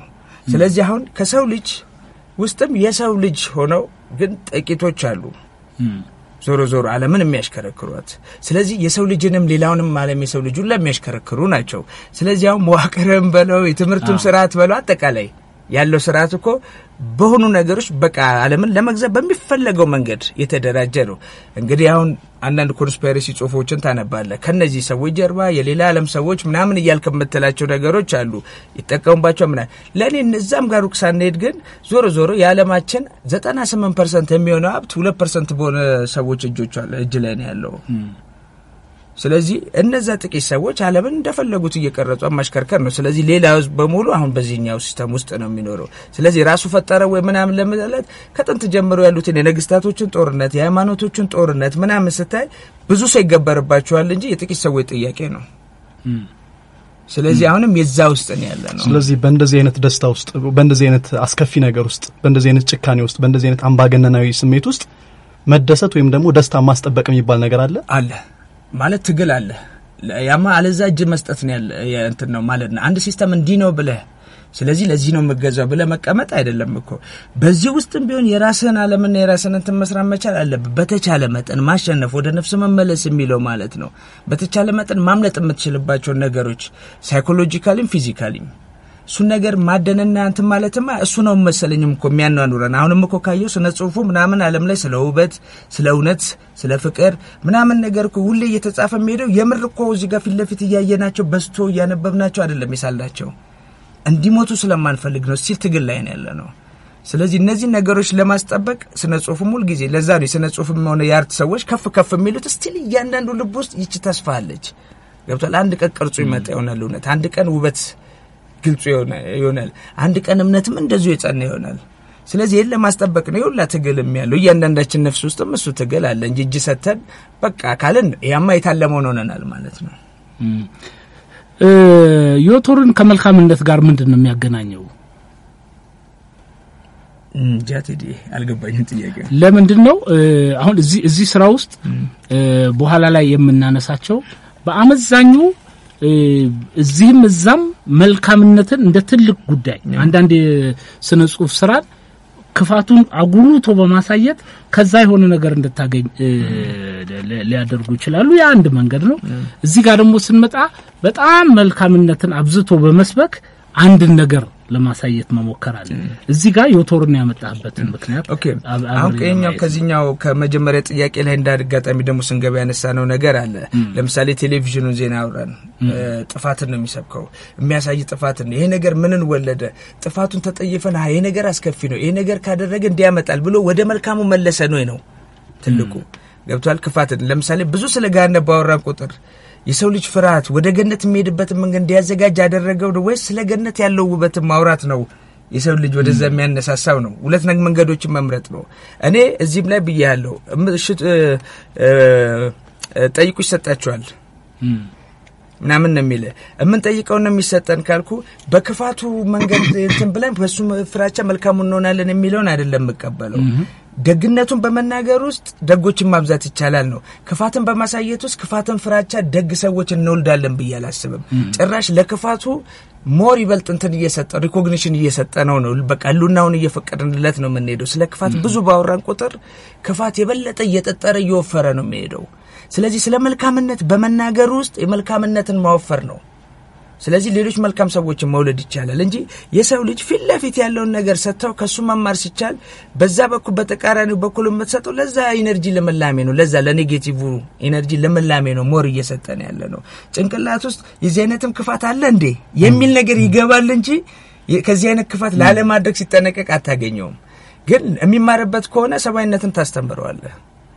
ስለዚህ የዚህ አይነት ሰብአዊነት አለ እንዴ ለማለት ግን ለማድረግ ይችላል። ገብቷል ያለውን ነገር መጎምጀት፣ ምክንያቱም ቀናተኛነት አለ በማድረግ ውስጥ።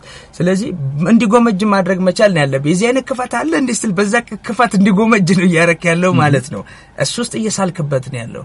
ስለዚህ ነው ይህንን ነገር ስለ መልካምነት ለማውራት በመልካምነቱ ብቻ ወይም መልካም ሰዎችን ለማፍራት መልካሙን ብቻ በመነጋገር ውስጥ መሄድ መቻል አለብን ነው። ስለዚህ እዛ ላይ አንድ chapter ላይ ደጋግሞ ነው የሚለው ደጋግሞ የሚያነሳው ነገር የምንጠይቀውን ነው የሚሰጠን። ለምሳሌ ያው የሀገራችንን ብሂል ነው የሚል የፈሩት ይደርሳል፣ የጠሉት ይወርሳል ነው። ስለዚህ የፈራው ነው ፈራኸው ማለት ይደርሳል። means ክፋትን በማሳየት በሰው ልጅ ያ ነገርን ፍርሃት ውስጥ መከተው ቢሆን እሱን ነገር እንዲጠራው ነው ያደረግከው። አንዳንድ ጊዜ በቃ እነዚህ አይነት አባባሎች እኮ ከዚህም ዘመን በፊት ትላልቅ ጥልቅ ሀሳብ የያዘ ማህበረሰብ ውስጥ ስላለህ እኮ ነው። ተራ አባባሎች አይደሉም። የጠሉትም ይወርሳል ስትል አንተ ስላልፈቀድክ ነው። አንተ ነገሩን የቆሰቆስከው። ስለዚህ ሁልጊዜ እንዲሆን የምትፈልገው ነገር ላይ ብቻ ነው ትኩረት መስጠት እንጂ ተቃራኒ ሀሳብ ላይ ያን ያህል ማሳለፍ ለሰው ልጅ ሌላ ተቃራኒውን ጨለማ መሳል ነው ብዬ አስባለሁ። መልካም። እስኪ ዜማ ተገባብዘን ተመልሰን እንገናኝ። የምንወዳችሁ አድማጮቻችን የሬዲዮ መስመራችሁ ዛሚ 90.7 ኤፍኤም ላይ ነው የሚገኘው። የዝነኞች ጨዋታ ቀጥሏል። ቴዎድሮስ ተክለአረጋይና አለማየሁ ደመቀ የደራ ጨዋታቸውን ተያይዘውታል። ተመልሰን እንገናኛለን። ሰናል የምንወዳችሁ አድማጮቻችን የሬዲዮ መስመራችሁ ዛሚ 90.7 ኤፍኤም ላይ ይገኛል። የዝነኞች ጨዋታ መሰናዷችን እየተደመጠ ነው። ቴዎድሮስ ተክለአረጋይና አለማየሁ ደመቀ በመስተንግዶው ደግሞ እኔው ቢሆነኝ ቴክኒኩን አለ ቢተው እየተቆራጠረው እየተቆራጠረው አብረናችኋለን። እየደወላችሁልን ሀሳብ አስተያየታችሁን እየሰጣችሁን አብሮነታችሁን እየገለጻችሁልን ስለሆነ እጅጉን ደስ ብሎናል። ወደ ጨዋታችን እንመለስ። ዮቶር ላይ ሳንወጣ አሁንም ኮብላይ ካህን ላይ ገጽ 13 አንድ የተጠቀሰ ጉዳይ አለ። በተለይ ስለ እጣ ፋንታ የሚያወራ ነገር እጣ ፋንታ እኔ ድርሻ ነው ብዬ አምናለሁኝ። እጣ ፋንታ ለአንድነትም ለብዙነትም እንደሆነ ይሰማኛል። ለምሳሌ ሰዎች ኢትዮጵያዊነትን፣ ኬንያዊነትን፣ ዩጋንዳዊነትን በእጣ ፋንታ ካላገኙት በቀር ወደው የሚያገኙ ሰዎች በህግ መንገድ የሚያገኙ ናቸው ብዬ አምናለሁኝ።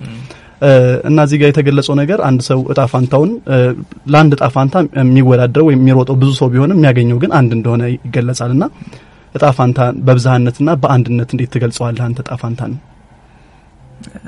እጣ ፋንታ ያው እንግዲህ ሁለት አይነት ነገሮችን ብናስብ ማለት ነው። በመጀመሪያ አሁን በመወለድ የሚመጣውን ያልከው ካንተ ፈቃድ ውጭ ወደ ምድር የመጣበት ነገር ከነ ከዛኛው እናትና አባት ተመርጠ መወለድ ነገር አንድ አድማጭ እንቀበልና እንመለስበታለን ወደ ጥያቄው። የዘወትር አድማጫችን አቤ ከቤ ካሰላ ናቸው። ጤና ይስጥልን አቤ። ጤና ይስጥልን። ያው እንዴት ነህ? እንደምን አለህልኝ? እንግዶቼ ያሉ አገኛቸው። እሺ ቴዲና አሌክስ እንደምን አቤ፣ ሰላም ነህ ሆይ? እንደምናችሁ? አለን አለን። ሰላም ናችሁ? አልሐምዱሊላህ ሰላም።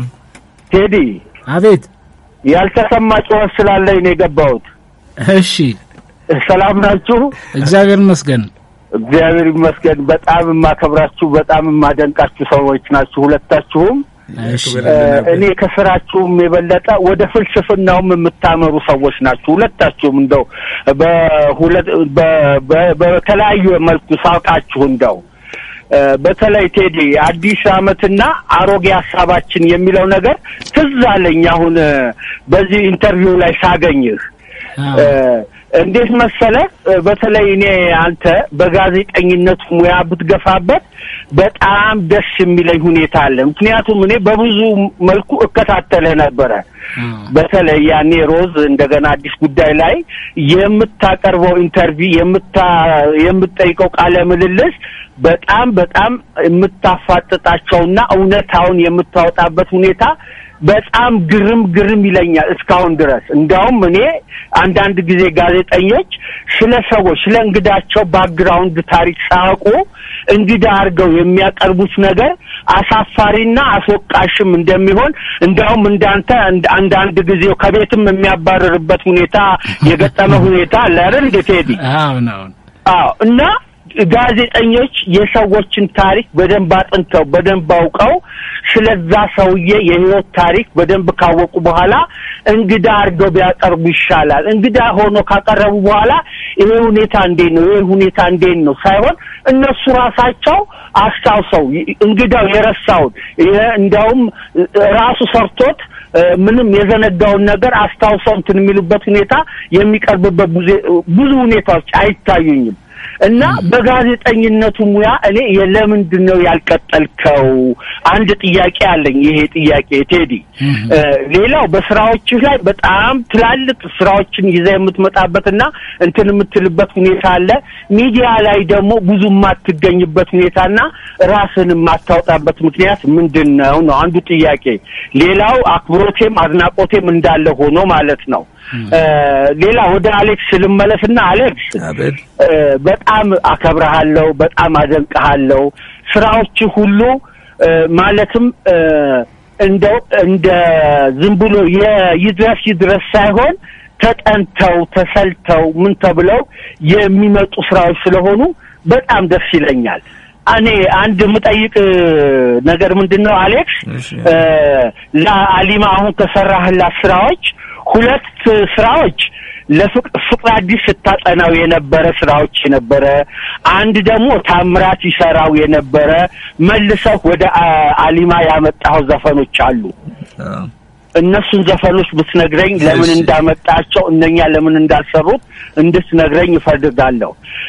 የምን ቋጥኝ የሚለው ስራዋ ደግሞ አለ የአሊማ እዛ ላይ የአሊማን ምንድን ነው ቸልተኝነት የሆነ ደካማ ጎኗን የሚገልጽ በምን አይነት እይታ አይተኸው ነው ስለ እሷ የሆነ ነገር የሚገልጽ ነገር እ፣ አስበህ ይመስለኛል እንትን ያልከው። ይሄ የመጽሐፉ ነገር ደግሞ ትንሽ ወጣ ያለና ፍልስፍናም የበዛበት ነገር ነው። እኔ እንደ መጽሐፉ ትንሽ ትንሽ እንዳየሁት እና እሱን ነገር አንድ የሆነ እንደውም ከአሊማ እንትን ጋራ ምንድን ነው ዘፈን ጋራ ያገጣጠምክበት ሁኔታ አለ። ምን የሚሉት ዘፈን ነበረ? እሱ እሱን እንደውም ከእሱ ጋራ ትንሽ የሚሄድበት ሁኔታም አለ። እንደው መጽሐፉ ግን ጣፍጦ ትንሽ አነሰሽ ነው የምለው እኔ አሌክስ እነኝህን ነገሮች አዳብረህ ወደፊት ያዘጋጀኸውስ ነገር አለ ወይ? ወደፊትስ በምን አይነት ስራ እናገኘሃለን? ቴዲም ደግሞ ወደፊትስ በምን አይነት ጥሩ ስራ እናገኘሃለን ነው የምለው። በተለይ የቤት ስራን እኔ በጣም እንትን ብሎኝ የጣፈጠኝ ስራ ነው ከወዲሁ የቀረበና እንትን ያለ ስራ ቴዲ። እኔ ትልቅ አክብሮትም አድናቆትም አለኝ ለሁለታችሁ። እድሜና ጤና ይስጣችሁ ነው ምለው። ለማንኛውም እኔ እግዚአብሔር ያክብርልኝ። እኔ አንተንም በጣም እነሱንም ስላቀረብካቸው ትልቅ አድናቆትም አክብሮትም አለኝ ለአንተ። እ፣ እግዚአብሔር ያክብርልኝ። ሰላም ውሎ ይሁንላችሁ። እናመሰግናለን አቤ ከቤ። ቀሪ ቀንህም የተባረከ እንዲሆን ተመኘን። እንግዲህ ወደ ቀደም ሲል ወደ አነሳነው ጨዋታ እንመለስና አቤ ከቤ ወደ አነሷቸው ጉዳዮች እንመለሳለን። ስለ ጣፋንታ እያወራን ነበር አሌክስ። እጣ ፋንታችን እንግዲህ አሁን ሌላኛው እኛ የማናዝበት እጣ ፋንታ ብለን የጀመርነው አለ። የት ትወለዳለህ፣ ከማን ትወለዳለህ፣ መቼ ትወለዳለህ የማናዝበት እ፣ እጣ ፋንታ ነው። ሌላው ግን ሁላችንም ወደ ምድር ላይ ስንመጣ የሆነ ተልእኮች አሉ እንላለሁ። ላኪው ማን ነው ምናምን ሌላ ጥያቄ ሆኖ ማለት ነው።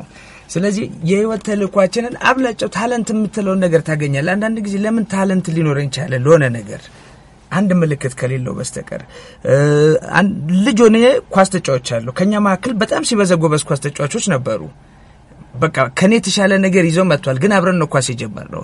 ስለዚህ ወይ በተፈጥሮ ጭንቅላታችን ውስጥ ለዛ የተመቻቸ department ማለት እኔን አሁን ለቃል የሰጠኝ ማለት የቋንቋ ክፍሌ የተሻለ ነገር ከሌላው ከቁጥር ክፍሌ ወይም vision ን ከሚያስቀምጠው ክፍሌ የተሻለ ነገር ኖሮት ለዛ የተመቻቸ ተፈጥሮ ኖሮኝ ይሄም ሊሆን ይችላል። ካልሆነ ደግሞ እንግዲህ ከዛ በፊትም life ከነበርን ኖረን ከነበረ ከዛም በፊት ከሱ ነገር ደግሞ የሰበሰብነው ነገር ልክ አሁን በሚቀጥለው ሌላ life ካለ አሁን የሰበሰብነው ነገር ለዛኛው አቅርቦት እንደሚሆኑላ ማለት ነው። ልክ እንደዚሁ ይዘን የመጣነውም ነገር ሊሆን ይችላል። ብቻ ምድር ላይ ስንመጣ ሁላችንም ከኛ ውስጥ ልውጣ ልውጣ ልውጣ ልውጣ ብሎ የሚታገልና ልትቆምለት የሚገባ አንድ ነገር አለ። ይሄኛው እንደ እጣ ክፍል ወይም እንደ እጣ ፈንታ ብታየው ወይም እንደ destiny አድርገህ ብታስበው ለዚህ ነገር መቆምን ነው። ስለዚህ ይህ ነገር ላይ አንዳንዴ ትሸወዳለህ፣ አንዳንዴ ላይ የተጠራው የነፍስ ነገር ሆኖ እሱን አግደ ደግሞ ሌላ ነገር ላይ ትኖራለህ። እንደኔ እንደ መጀመሪያው ተቀጥረ ትሰራለህ ማለት ነው። ከዛ ግን ትግሉ ደግሞ መልሶ ያስወጣል። ብዙ ጊዜ ወይ ትዘገያለህ እንጂ አትፋታም፣ ተመልሰህ ትሄዳለህ። ካልሆነ ደግሞ በቁጭት ትሞታለህ። ረጅም ጊዜ ተላለፍኩ ትላለህ ከዕጣ ፈንታ ጋር። ስለዚህ ቁጭት ሆኖ ይሞታል። እንግዲህ ያ ነገር እንዲያው ነው የኔም ትግል የነበረውና ሙሉ ለሙሉ ያኔም ባንክ ሰራም ለምሳሌ እኔ የተፈጠርኩት ለ art ነው ብዬ ላለሁ እንግዲህ የተፈጠርኩት ብዬ ነው ያን የምማወረው። ስለዚህ በዛን ሰዓትም ቢሆን እሰራው ነበር ከጎኑ ሙዚቃን እሰራለሁ at least ግን እንዳልኩ አሁን የመጽሐፉ ነገር ሁልጊዜ ደግሞ ከልጅነቴ ደግሞ ማስበው የነበረውን ወደሱ ነው። በቃ ልቦለድ ጸሐፊ ራሴን አድርጌ የማስበው ደግሞ ያው በጎን እሱም እየተጻፈ ይሄዳል። የሆነ ጊዜ ላይ እንዲህ ትመጣለህ። ስለዚህ ትግልህ አለ። እጣ ፈንታው እንደነገርኩ የተወሰነው በአንተ እጅ ነው። decision ኡ የተወሰነው አንዳንድ ጊዜ የሌለ ነገር ላይ ውለ ማለት ነው። እኔ የተፈጠርኩት ለዚህ ነው። ለምሳሌ በ accounting ኡ ሰማይ የነካ ኢትዮጵያን ወክዬ ለዓለም በቃ ሰው ልሆን እችላለሁ። የሚያበቃ መስክ ቢሆን የተሻለው እሱ ነበረ። ለምን ተው ሊያስብለኝ ይችላል። ገብቷል። እጣ ፈንታ የሚለው በምን ይለካል የሚለውን ነገር ያሳ ለመሆኑ ምን ማረጋገጫ አለ? እሱ ለጥያቄ መነሳት ይችላል። ለእኔ ግን ትልቁ ነፍሴ ውስጥ በቃ እሳቶን የሚፈጀኝ የቱኛው ነው? ግን እዚህ ጋር አሌክስ አሁን አሁን ካልከው ተነስቼ ነው ያሰብኩት። ለምሳሌ ለዘፋኝነት፣ ለገጣሚነት ወይ ደግሞ ለቴክኒሽያንነት ትፈጠርና ይሄ እጣ ፈንታ ሊሆን ይችላል። በቃ የሆነ የተሰጠህ ነገር አለ። ይህንን የሚደግፍና የማይደግፍ ሰው ማግኘትስ በራሱ ጣፈንታ ተደርጎ ሊቆጠር አዎ አይችልም? ጨዋ- እሱ- እሱኛው ለአሁን እዚህ ጋር ንሽ ያነሳው ፔጅ ላይ ማለት ነው። ለምሳሌ ከአንተ ከነፍስ ውስጥ ለመነጨው ማንኛውም ትልቅ ነገር ማለት energy ን ታጥቆ ኃይልን ታጥቆ ለተነሳ የነፍስህ ፍላጎት ሁልጊዜ ተፈጥሮም ሆነ ሌሎች ሰዎች አጋዥ ሆነው ይመጣሉ። ይሄ የተፈጥሮ ህግ ነው። ምክንያቱም እኛ እያንዳንዳችን ራሳችን ተበታትነናል ብለን ራሳችን እንደ አንድ ሰው እንቆጥራለን እንጂ ሁላችንም በማይታይ ገመድ የተገመድንን የተያያዝንን ልክ web ብለ በቃ የሸረሪት ድር እንደምታየው እያንዳንዳችን በነፍስ energy ውስጥ እንደዚህ ነን። ያ ማለት ደግሞ በድምራችን ያለው መንፈስ አጠቃላያችን እኛን አንድ ሆኖ የሚኖር መንፈስ በአጠቃላይ ያላችን የድምራችን ማለት ጠጣሩ ነገራችንም ሆነ መንፈሳዊ ነገራችንን ያንተን ብቻ ሳይሆን የሰውን ብቻ ሳይሆን የተራራው፣ የውሃው፣ የጠጠሩ፣ የጫካው የሁሉም መንፈስ አንድ ነው። ስለዚህ የሁላ እንደው በሌላው ለምሳሌ super subconscious ወይም universal subconscious የምትለው ቢሆን እንኳን ያ ነገር በዚህ ውስጥ አንድ ነን። ያ ማለት ለዛ ለአንድ ለሆነው ነገር ሴሎች ነን። ስለዚህ አንዱ ሴል ሲታወቅ ሌላውም ሴል ጭምር እዳው እንደሚተርፈው ልክ ውስጥ ያለው ነገር የአንድ ቦታ ያለ ህመም ሌላውን ነገር እንደሚረብሽ ማለት ነው። ልክ እንደዚሁ ላይ ተያያዝነት። ስለዚህ መተጋገዙ ከዚህ የተመነጨ ነው የሚመጣው። ልክ አንተ ከነፍስ ውስጥ energy ውን እስከጣልክ ድረስ ይሄ energy ሌላውን ይጠራል። ስለዚህ አንተን ሊያግዙ የሚመጡ ብዙ ነገሮች አሉ። ትልቁ ያንን የሚስብ ያህል ማግኔት አንተ ከዛ energy ውስጥ ማመንጨት መቻልህ ነው። ለምትፈልገው ነገር ዋጋውን እስከከፈልክ ድረስና ትልቅ energy ካለ ያ ነገር የማይሳብበት ምንም ምክንያት የለም። አዎ እኮ ግን የኔ ጥያቄ ግን ያ መጀመሪያ የተሰጠህ ነገር ያንተ እጣ ፈንታ ሆኖ ከሆነው ብሔር እንድትወለድ መሆኑ በራሱ ይህንን እንድታዳብርና እንዳታዳብር አይነት ቤተሰብ ውስጥ መገኘት ክፉ አስተማሪ ማግኘት ይህስ የዕጣ ፈንታ አንዱ አለ። አሁን ቅድም ያነሳነው ነገር ነው እንዳልኩ፣ በሆነ መንገድ ስትሄድ ያ መንገድ የሚያመጣብን ሁላ ትወስዳለህ ብያለሁ። ለምሳሌ ክፉ አስተማሪ እኔ በቀላሉ ቀላል ነገር ልንገርህ። ፊዚክስ ለምሳሌ እኔ አሁን በጣም በቃ ማታ ማታ ወጥቼ ግጥሞቼም ላይ ሰማይ አይጠፋም፣ ኮከብ ፀሐይ በታምር አይጠፋም። እንደ ከስንት አንድ ናቸው። ባይኖራቸው እንኳን ትንሽ የዳመንም ሰማያቱ በሆነ ነገር አለ። የአሊማን ያሁኑን አልበም ስታይ ከአስራ አምስት ስራዎቹ ወደ አስራ አንድ አካባቢ ምናምን ሰማይ አካባቢ ወጥቷል። ለዛ ነው የሰማይ የሚለውን ዘፈን ዘፈኑን ብቻ ሳይሆን አልበሙ እንዲወክል ያደረጉበት reason ኔ ፀሐይ ምናምን የሚለው ስለማይጠ ሌሎችም ስራዎች ውስጥ ያለ። እኔ በጣም የሰማይ አድናቂ ነኝ። ማታ ማታ ቆሜ ከዋክብቱ ስቆጥር ነው የምታገኘኝ። ያቺን ይቺን ምናምን እያልኩ ቀንም ከፀሐይ ጋር እንደዚሁ ነው። እንትኔ ይህንን ያነሳው ለእኔ ልጅ ሆኜ በቃ ሳይንቲስት መሆን ማለት ለእኔ ሰማይ ላይ መዋል ያል ነው። በቃ ከጠፈር ጋር የተያዘው ነገር ነው የእኔ ጉዳይ ያለው። ስለዚህ እንደዛ ነበር የማስበው። ፊዚክስ ገና መጀመሪያ ገና ፊዚክስ ምን እንደሆነ እንኳን በቅጡ ሳላቅ አክስቶቼ ምናምን ፊዚክስ ምናምን ምናምን እያሉ አንን ነገር እንትን ሲሉ በቃ ደርሶ በተማርኩት ነው የምለው። ዘጠነኛ ክፍል ግን የገጠመኝ አስተማሪ ዛሬ ፊዚክስ ጋር ላለመገናኘት አንደኛው ምንጭ ነው። ምክንያቱም ዘጠነኛ ክፍል ላይ ስገባ በቃ almost የመጀመሪያው chapter ማለት ይቻላል እንደደጋግም ምንም ነገር ሳይገባኝ ማለት ነው። እሱ ራሱ ሲደጋገም ስንት ጊዜ ፈጅቶ ጨረስኩ። አስረኛ ክፍል ስገባ ሌላ አስተማሪ ነው፣ ግን የመጀመሪያው ወር ላይ ምናምን አሪፍ ነው። በቃ ትምህርቱ ሲሰጥ ደስ አለኝ። አሁን መልሼ ልጀምር ነው ብዬ ያሰብኩት ገና ፊዚክስን። ከዛ በኋላ በሁለት ወሩ በአንድ ወሩ ብቻ እሱም ወደ ውጭ ሄደ አስተማሪው። የዘጠነኛ ክፍል አስተማሪ ተመልሶ መጣ። ሀሌሉያ ትላለን። ከዛው ተቆራረጥን ገብተዋል። ስለዚህ አሁን ግን ከዛ በኋላ ትተዋለህ ብትለኝ አሁን ምናልባት ያንን የመሆን ምናምን እንትኑ ይኖረኝ ነበር ምናምን የምልበት ሁኔታ ውስጥ አይደለሁም። ዞሮ ዞሮ በምጽፈውም ውስጥ እዛኝ በአብላጫው በኢማጂኔሽን የምትመሰጠውም አለ። በማንበብ ራስን የምታነቃውም ነገር አለ እኮ ስለ ሰማይ አካላት፣ ስለ ከዋክብቱ፣ ስለ ፕላኔቶቹ ምናምን ያም ማወቅ አይደለ ከወጣው በኋላ ግን በራሴ በማንበብም በምንም በምንም የምፈልጋቸውን ነገሮች ለማወቅ ይጃለሁ። አሁንም አንዳንድ ጥያቄዎች ሲገጥመኝ ምናምን አልበርት አንስታይንንም ለማንበብ ሆነ ሌላውንም ለማንበብ በቃ በራሴ ነገር ብቻ የምፈልጋቸውን ነገሮች አነባለሁ አሁን። ስለዚህ የዛ ባለሙያ አይደለሁም፣ ግን ስለዛ ነገር ያለኝን እውቀት ሁሌ እንዳዳበርኩ ሄዳለሁ። እንደነገርኩ ግን በዛን ሰዓት አሁን ያ ዘጠነኛ ክፍል ይሄ ባይፈጠር አስር ባይደግመኝ ኖሮ ምናልባት ወደዚህኛው ይሄኛው ላይቀር ይችላል እንዳልኩ ዋናው እንትን ነው እንጂ ግን አሁን ዛሬ ሌላ ነገር ላይ ልታገኘ እንችላል። ያኛውም የልጅነት ትልቅ ነገሬ ነው። still ግን የምጽፋቸው ጽሁፎች ውስጥ ከከዋክብቱ ጋር የተያዘው ነገር ምናምን still አለ። አዎ አንዳንድ ጊዜ ለምሳሌ እኔ ይሄ እንዲህ እንዲህ አይነት ሀሳብ የኔ ነው እኔ ማለት እንዲህ ነኝ የምንለው ነገር ላይ በጣም ጠንካራ እንትን አለኝ፣ ተቃውሞ አለኝ። ብዙ አይደለም። አሁን እኛ በምንገልጸው መንገድ እኔ የምንለው ነገር የለም።. እኛ ምንም አይደለንም። አንዳንዴ ያ ማለት ግን ዓለምን እየሰራ ያለው የሰው ልጅ እስከሆነ ድረስ እያንዳንዱ በየራሱ ውስጥ አለ። ልክ ለምሳሌ አሁን አንተ ሁለት ሁለት ዓመት ላይ ይሄ ይሄ ይሄ ጉዳይ ገጠመ። ምናልባት እኮ ቤተሰቦች ሌላ ጋር ሊያስገቡ ይችሉ ነበር። ወይ ደግሞ በጣም በጣም ጥሩ አስተማሪ ያጋጥምና ዛሬ ግጥምና ዜማው ልቦለዱ ቀርቶ ደግሞ ሌላ በሌላ አገር የሚያስጠራ ይሆናልና አንዳንዴ እንዲህ በተለያየ አጋጣሚ ላይ ታንቀው የሚገደሉ ተሰጥኦዎች አሉ። አስተዳደጋችን በጣም በጣም የሚያሳዝን አይነት አስተዳደግ ነው። የአብዛኛው የማስተማር ስልቱም ጭምር የማስተማር ስልቱ በተለይ በተለይ አሁን አሁን እንኳን ቀርቷል። አስተማሪዎች በተማሪዎች ላይ የሚፈጽሙት በደል ትምህርት ቤቱን እንድትጠላ የሚያደርግ እኛ አንደኛ ደረጃ ተማሪ ሆነን ለረጅም ዓመት unit leader የነበረ በፊት ግን በጣም የታወቀ ሂሳብ አስተማሪ ነበር የተባለ ሰው ከዛ ሲመለስ ሂሳብ አስተማሪ ሆነ። ምናልባት እኔ በፊትም ሂሳብ ትምህርት ላይ ምንም እንትን የለኝም እንጂ ብዙ ሰዎች ልክ አንተ ፊዚክስ ላይ እንዳልከው ብዙ ተማሪዎች ሂሳብ ላይ ትልቅ ነገር ሊኖራቸው ሲገባ የቀሩ አሉ። ያው system ኡ ገምግመህ ይሄ ነገር ልክ አይደለም፣ ራሱ አስተማሪው ይማር የምትልበትም አይደለም። እንደገና ቤተሰብ ጋር ስንመጣ ደግሞ ይሄ ልጅ ምንድን ነው እንዲህ አይነት ወዳደቀ እቃ ላይ እንትን የሚሉት? እኔ እዚህ ጋር መግለጽ የምፈልገው ጋሽ ኃይለ መለኮት ኃይለ መለኮት መዋዕል በጣም ወዳጄ ነው። እና እሱ ለምሳሌ ምን ያደርግ ነበረ? ልጁ ትንሽ ልጅ ነበር። አሁን ዩኒቨርሲቲ ገብቷል። በምን ላይ በምን እንደቀጠለ አላቅም እንጂ ትንሽ ልጁ ሰዓትን መፍታት ሬዲዮ መፍታት ምናምን ይወዳል። እና አንዳንዴ ሜጋ አብረን እንሰራ ነበርና ሲወጣ መርካቶ ሄደና አሮጌ ቴፕ ገዝቶ ይመጣል ለልጁ። በቃ ልጁ እንዲፈታታው ምን እንዲለው ምን እንዲለው ነው። የሆነ ነገር ብቻ ሲያገኝ ለልጁ ይዞ ይሄዳል። ያ ልጅ እንግዲህ በዛ ሄዶም ከሆነ አልሄደም ከሆነ የልጁ ጉዳይ ሊሆን ይችላልና አንዳንዴ እንዲህ አይነት ነገሮችን ስታይ የኛ ቦታ ታዲያ የቱ ጋር ነው የተለያዩ ሰዎችና ሁኔታዎች እኛን የሚወስኑን አሉ። በዛ እንድንሄድ እንዳንሄድ የሚያደርጉ ይሄ ሲሆን ደግሞ ታዲያ በቃ የሰው ልጅ የጣፈንታ ግዞተኛ ከሆነ የእሱስ አቅም ምን ያህል ነው እንላለን።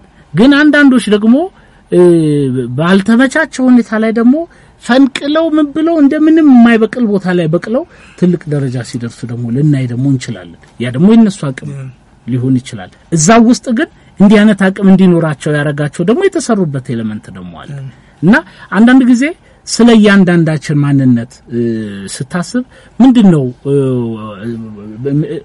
በቃ አንድ ሰው በራሱ ላይ አንድ ሰው በአካባቢው ላይ ምን ያህል ድርሻ አለው ማለት እንችላለን። በጣም አሁን የግድ የግድ ነው። ለምሳሌ ግን በዓለማችን ላይ አብላጫዎችን ትላልቅ ሰዎች ስታያቸው በ challenge ውስጥ ነው ትልቅ የሆኑት።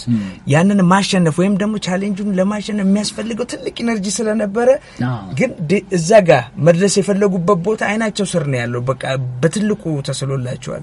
ስለዚህ ቆራጥነትና ኃይለኛ አነሳስ ነው የሚኖራቸው። ለምን ቻሌንጁ ኃይለኛ መሆኑን accept አድርገዋል፣ ወይም አንድ ሁለት ተደቁሰውበታል። ስለዚህ በኃይል ነው የሚነሱት እንጂ ይህ ቀስ እያሉ ምናምን በምትለው ነገር አይደለም። ያ ኃይል ያስፈልጋል። ልክ የዚህ ላይ የካኑን እሳት ሲቀጣጠል እጁ ሲላላጥ የነበረው ምናምን ሁለተኛውን ቀን ያለውን ነገር ስታይ የመጀመሪያ ዕለት አላደረገውም እኮ ግን ከዛ በላይ ለፍቷል፣ አደረገው። የኃይል ትናንትም ካንተ ጋር ነበር ሲሉ እሱ ኃይል ያስፈልጋል። ስለዚህ እንደዛ ትላልቅ ያለማቸው ሰዎች ሁላ ያንን ኃይል ያገኙት ከ challenge ኡም ጭምር ነው ለማሸነፍ። የሰው ልጅ አንዳንድ ጊዜ ውስጡ ያለውን ኃይል እንዲጠቀም ብዙ ጊዜ የተመቻቸ area ላይ ሆኖ ሲሆን ከዛም በላይ ኃይል አያስፈልገውም። ስለዚህ ያለኝም ይሄ ነው ብሎ ያምናል። እንዳለውም አያውቅም። አስቸጋሪ ሁኔታዎች ለምሳሌ እንደ ጦርነት ያሉ ካየው በጣም በቃ እሳት ውስጥ ምናምን ሲገባ ጦርነት ላይ ሲሆን ፈሪ እንኳን ይጀግናል። ሽለላና ቀረርቶን አስብ። በቃ ታንክ ይዞ ለመጣ ጎራዴ ይዘህ ዘራፍ ብለህ ታንኩ ላይ የምትወጣበት ሁኔታ ይፈጥራሉ። ያኛው የሰው ልጅ ውስጡ እያለ ግን እንዳለው ያላወቀው ኃይል የሚወጣበት ወቅቶች ናቸው፣ አስቸጋሪ ወቅቶች ማለት። ስለዚህ በዚህ ሁኔታ ትልቅ ያለማቸው ሰዎች የሆኑ አሉ ከተመቻቸላቸው ይልቅ የተመቻቸላቸው ምናልባት የምር ያላቸውን ኃይል የማያወጡበት ሁኔታም ሆኖ አንዱ ማነቆም ሆኖ ሊያገለግል ይችላል። ምክንያቱም እንዲህ አይነት ነገር የምናወራ የትላልቅ ቦታ የደረሱ ሰዎች ስናወራ አለማችን ካስኖረችው ወይም ካስተናገደችው ሕዝብ አንጻር ትንሽ ናቸው። ስለዚህ ትንሾቹ ማለት ደግሞ best quality የሆኑ በሆነ ነገር እንግዲህ ወርቅ መሆን የቻሉ ናቸው። በእሳት ተፈትነው ነው። ስለዚህ ስለ ጥቂት ሰዎች ነው እያወራን ያለን። እነዚህ ጥቂቶች የደረሱት ከተመቻቸ ነገር ወጥተው የመሆን እድሉ እንደውም አንቋቸውም የቀሩ ብዙ እንደዚሁ ለመሆን የሚችሉ ሰዎች አሉ። በሙሉ energy ስላልሆነ መሀል ሰፋሪ የሆኑ በመመቻቸትም ስለዚህ አይመቻች አይደለም። ከልጅነታችን ብናይ ከተጣጡት ጋር አሁን ካጣናቸው ጋር ያስታርቀናል። እንክብካቤው ቢኖር ትምህርት ቤቶችም talent ን ቢያዩ ቤተሰብም እንደዛው እርዳታውን ቢያደርግ የሞራል እገዛው ቢኖር at least ያጣናቸው ጥሩ ሊመጡ ይችሉ ነበር ብለን ያልናቸውን ሰዎች እንድናገኝ ያደርገናል። ግን አሁንም የሚነጥሩት ግን ሁልጊዜ በራስ ነው ትልቁ ነገር ያ መሰረት እንጂ ነጥሮ የሚወጡት ሰዎች በዓለም ላይ በራስ ትግል ነው challenge የበለጠ more ጠንካራ ያደረጋቸው ሰዎች ናቸው። ዮቶር ላይ ምናልባት ተሳስቼ ካልሆነ ገጸ ባህሪያ የገጸ ባህሪያቱን አካላዊ ቁመና አናየውም። እንትና እንትን ይመስላል ምናምን አንዳንዴ ከልብ ወለድ ውስጥ ታወጣና እንትናን ይመስላል ትላለ። ለምሳሌ አጭር ይሁን ረጅም፣ ጺማም ይሁን ወይስ ደግሞ ጺም የሌለው ወይስ መላጣ ነው ወይስ ጸጉሩ ጭፍር ያለ ነው ወይ ምናምን ነው የሚል እና ከዛ ይልቅ ባህሪ ላይ በጣም በጣም የማተኮር በጣም በጣም አንዳንዶቹ ጋር ልክ አሁን የሆነ ቦታ ላይ አለ በቃ ልክ እሷ ማለት ምንድነው ሰላም ሳትሆን ራሷ ሰላም እናት ነው። ሊዲያን እሷ ትሁት አይደለች ትሁት አይደለች ትሁት ሳይሆን ራሱን ትህትና ራሷን ትህትና ናት። ልክ እንዲህ ቦታ ደግሞ ሌላም አገላለጽ አለ። ስለዚህ አሁን የ የዛችን ካራክተር አማንንም እንደ ስሙ ሁላ ሰላም ነው እንደ ስሙ ሰላም ነው። እንዲህ ብቻ እዚህም እዛም አሉ ሌሎችም አሉ። አሁን አሁን የረሳሁት እና እንደዚህ ሆኖ በባህሪያቸው መንገድ በደንብ የተገለጹ አሉ። በቃ ሊዲያን ስናያት የሆነ በሚሰማኝ የሆነ ማቃት እስኪመስለኝ ግን ሊዲያ አጭር ናት፣ ረጅም ናት፣ ቁመቷ ወፍራም ናት ወይ ምናምን እንዲህ ወይ ተነካክተው እንኳን ከሆነ በደንብ የተገለጹ አይደሉም። እና ምን አስበህ ነው ይሄ ሆነ? እኔ ይህንን ጽሁፍ ለምሳሌ መጀመሪያ ጓደኞች ያንበባውት ከወጣ በኋላ አሌክስ ግን ፊልም ቢሆን አሉኝ። በፍጹም ነው ያልኩት። በኋላ እንደውም ከአንተነም ጋር ይህን ነገር አነሳ ነው አንተነ ሄሌ የላምባ ፊልም ዳይሬክተር ጋር ማለት እንዲህ አነሳን፣ ተወያየንበት። እኔ የፈለግኩት አንባቢው ራሱ ዳይሬክተሩ እንዲሆን ነው። ፊልም ከተደረገ በአንድ ዳይሬክተር ሀሳብ ውስጥ ሰዎቹ ተቀርጾ ያልቅብኛል። even ሀሳቦችም እዛ ጋር በድርጊት የምታሳየልኝ ሀሳብ እኔ ከገለጽኩልህ አንተ ውስጥ እንድትፈልገው የተውኳቸው ብዙ ነጥቦች አሉ። ይሄ ግን ይደመድምብኛል። ስለዚህ አካላዊም ቀረጻውን ማንኛውንም ነገር በጣም ማሳየት ያልፈለግኩበት reason ኡ አንተ አንባቢው ራሱ ዳይሬክተሩ እንዲሆን ነው። አንተ ትስላታለህ ልጅቷን። በቃ አንተ ነፍስ ውስጥ ግን ካለ ከሆነ ነገር ነው የምትስላት።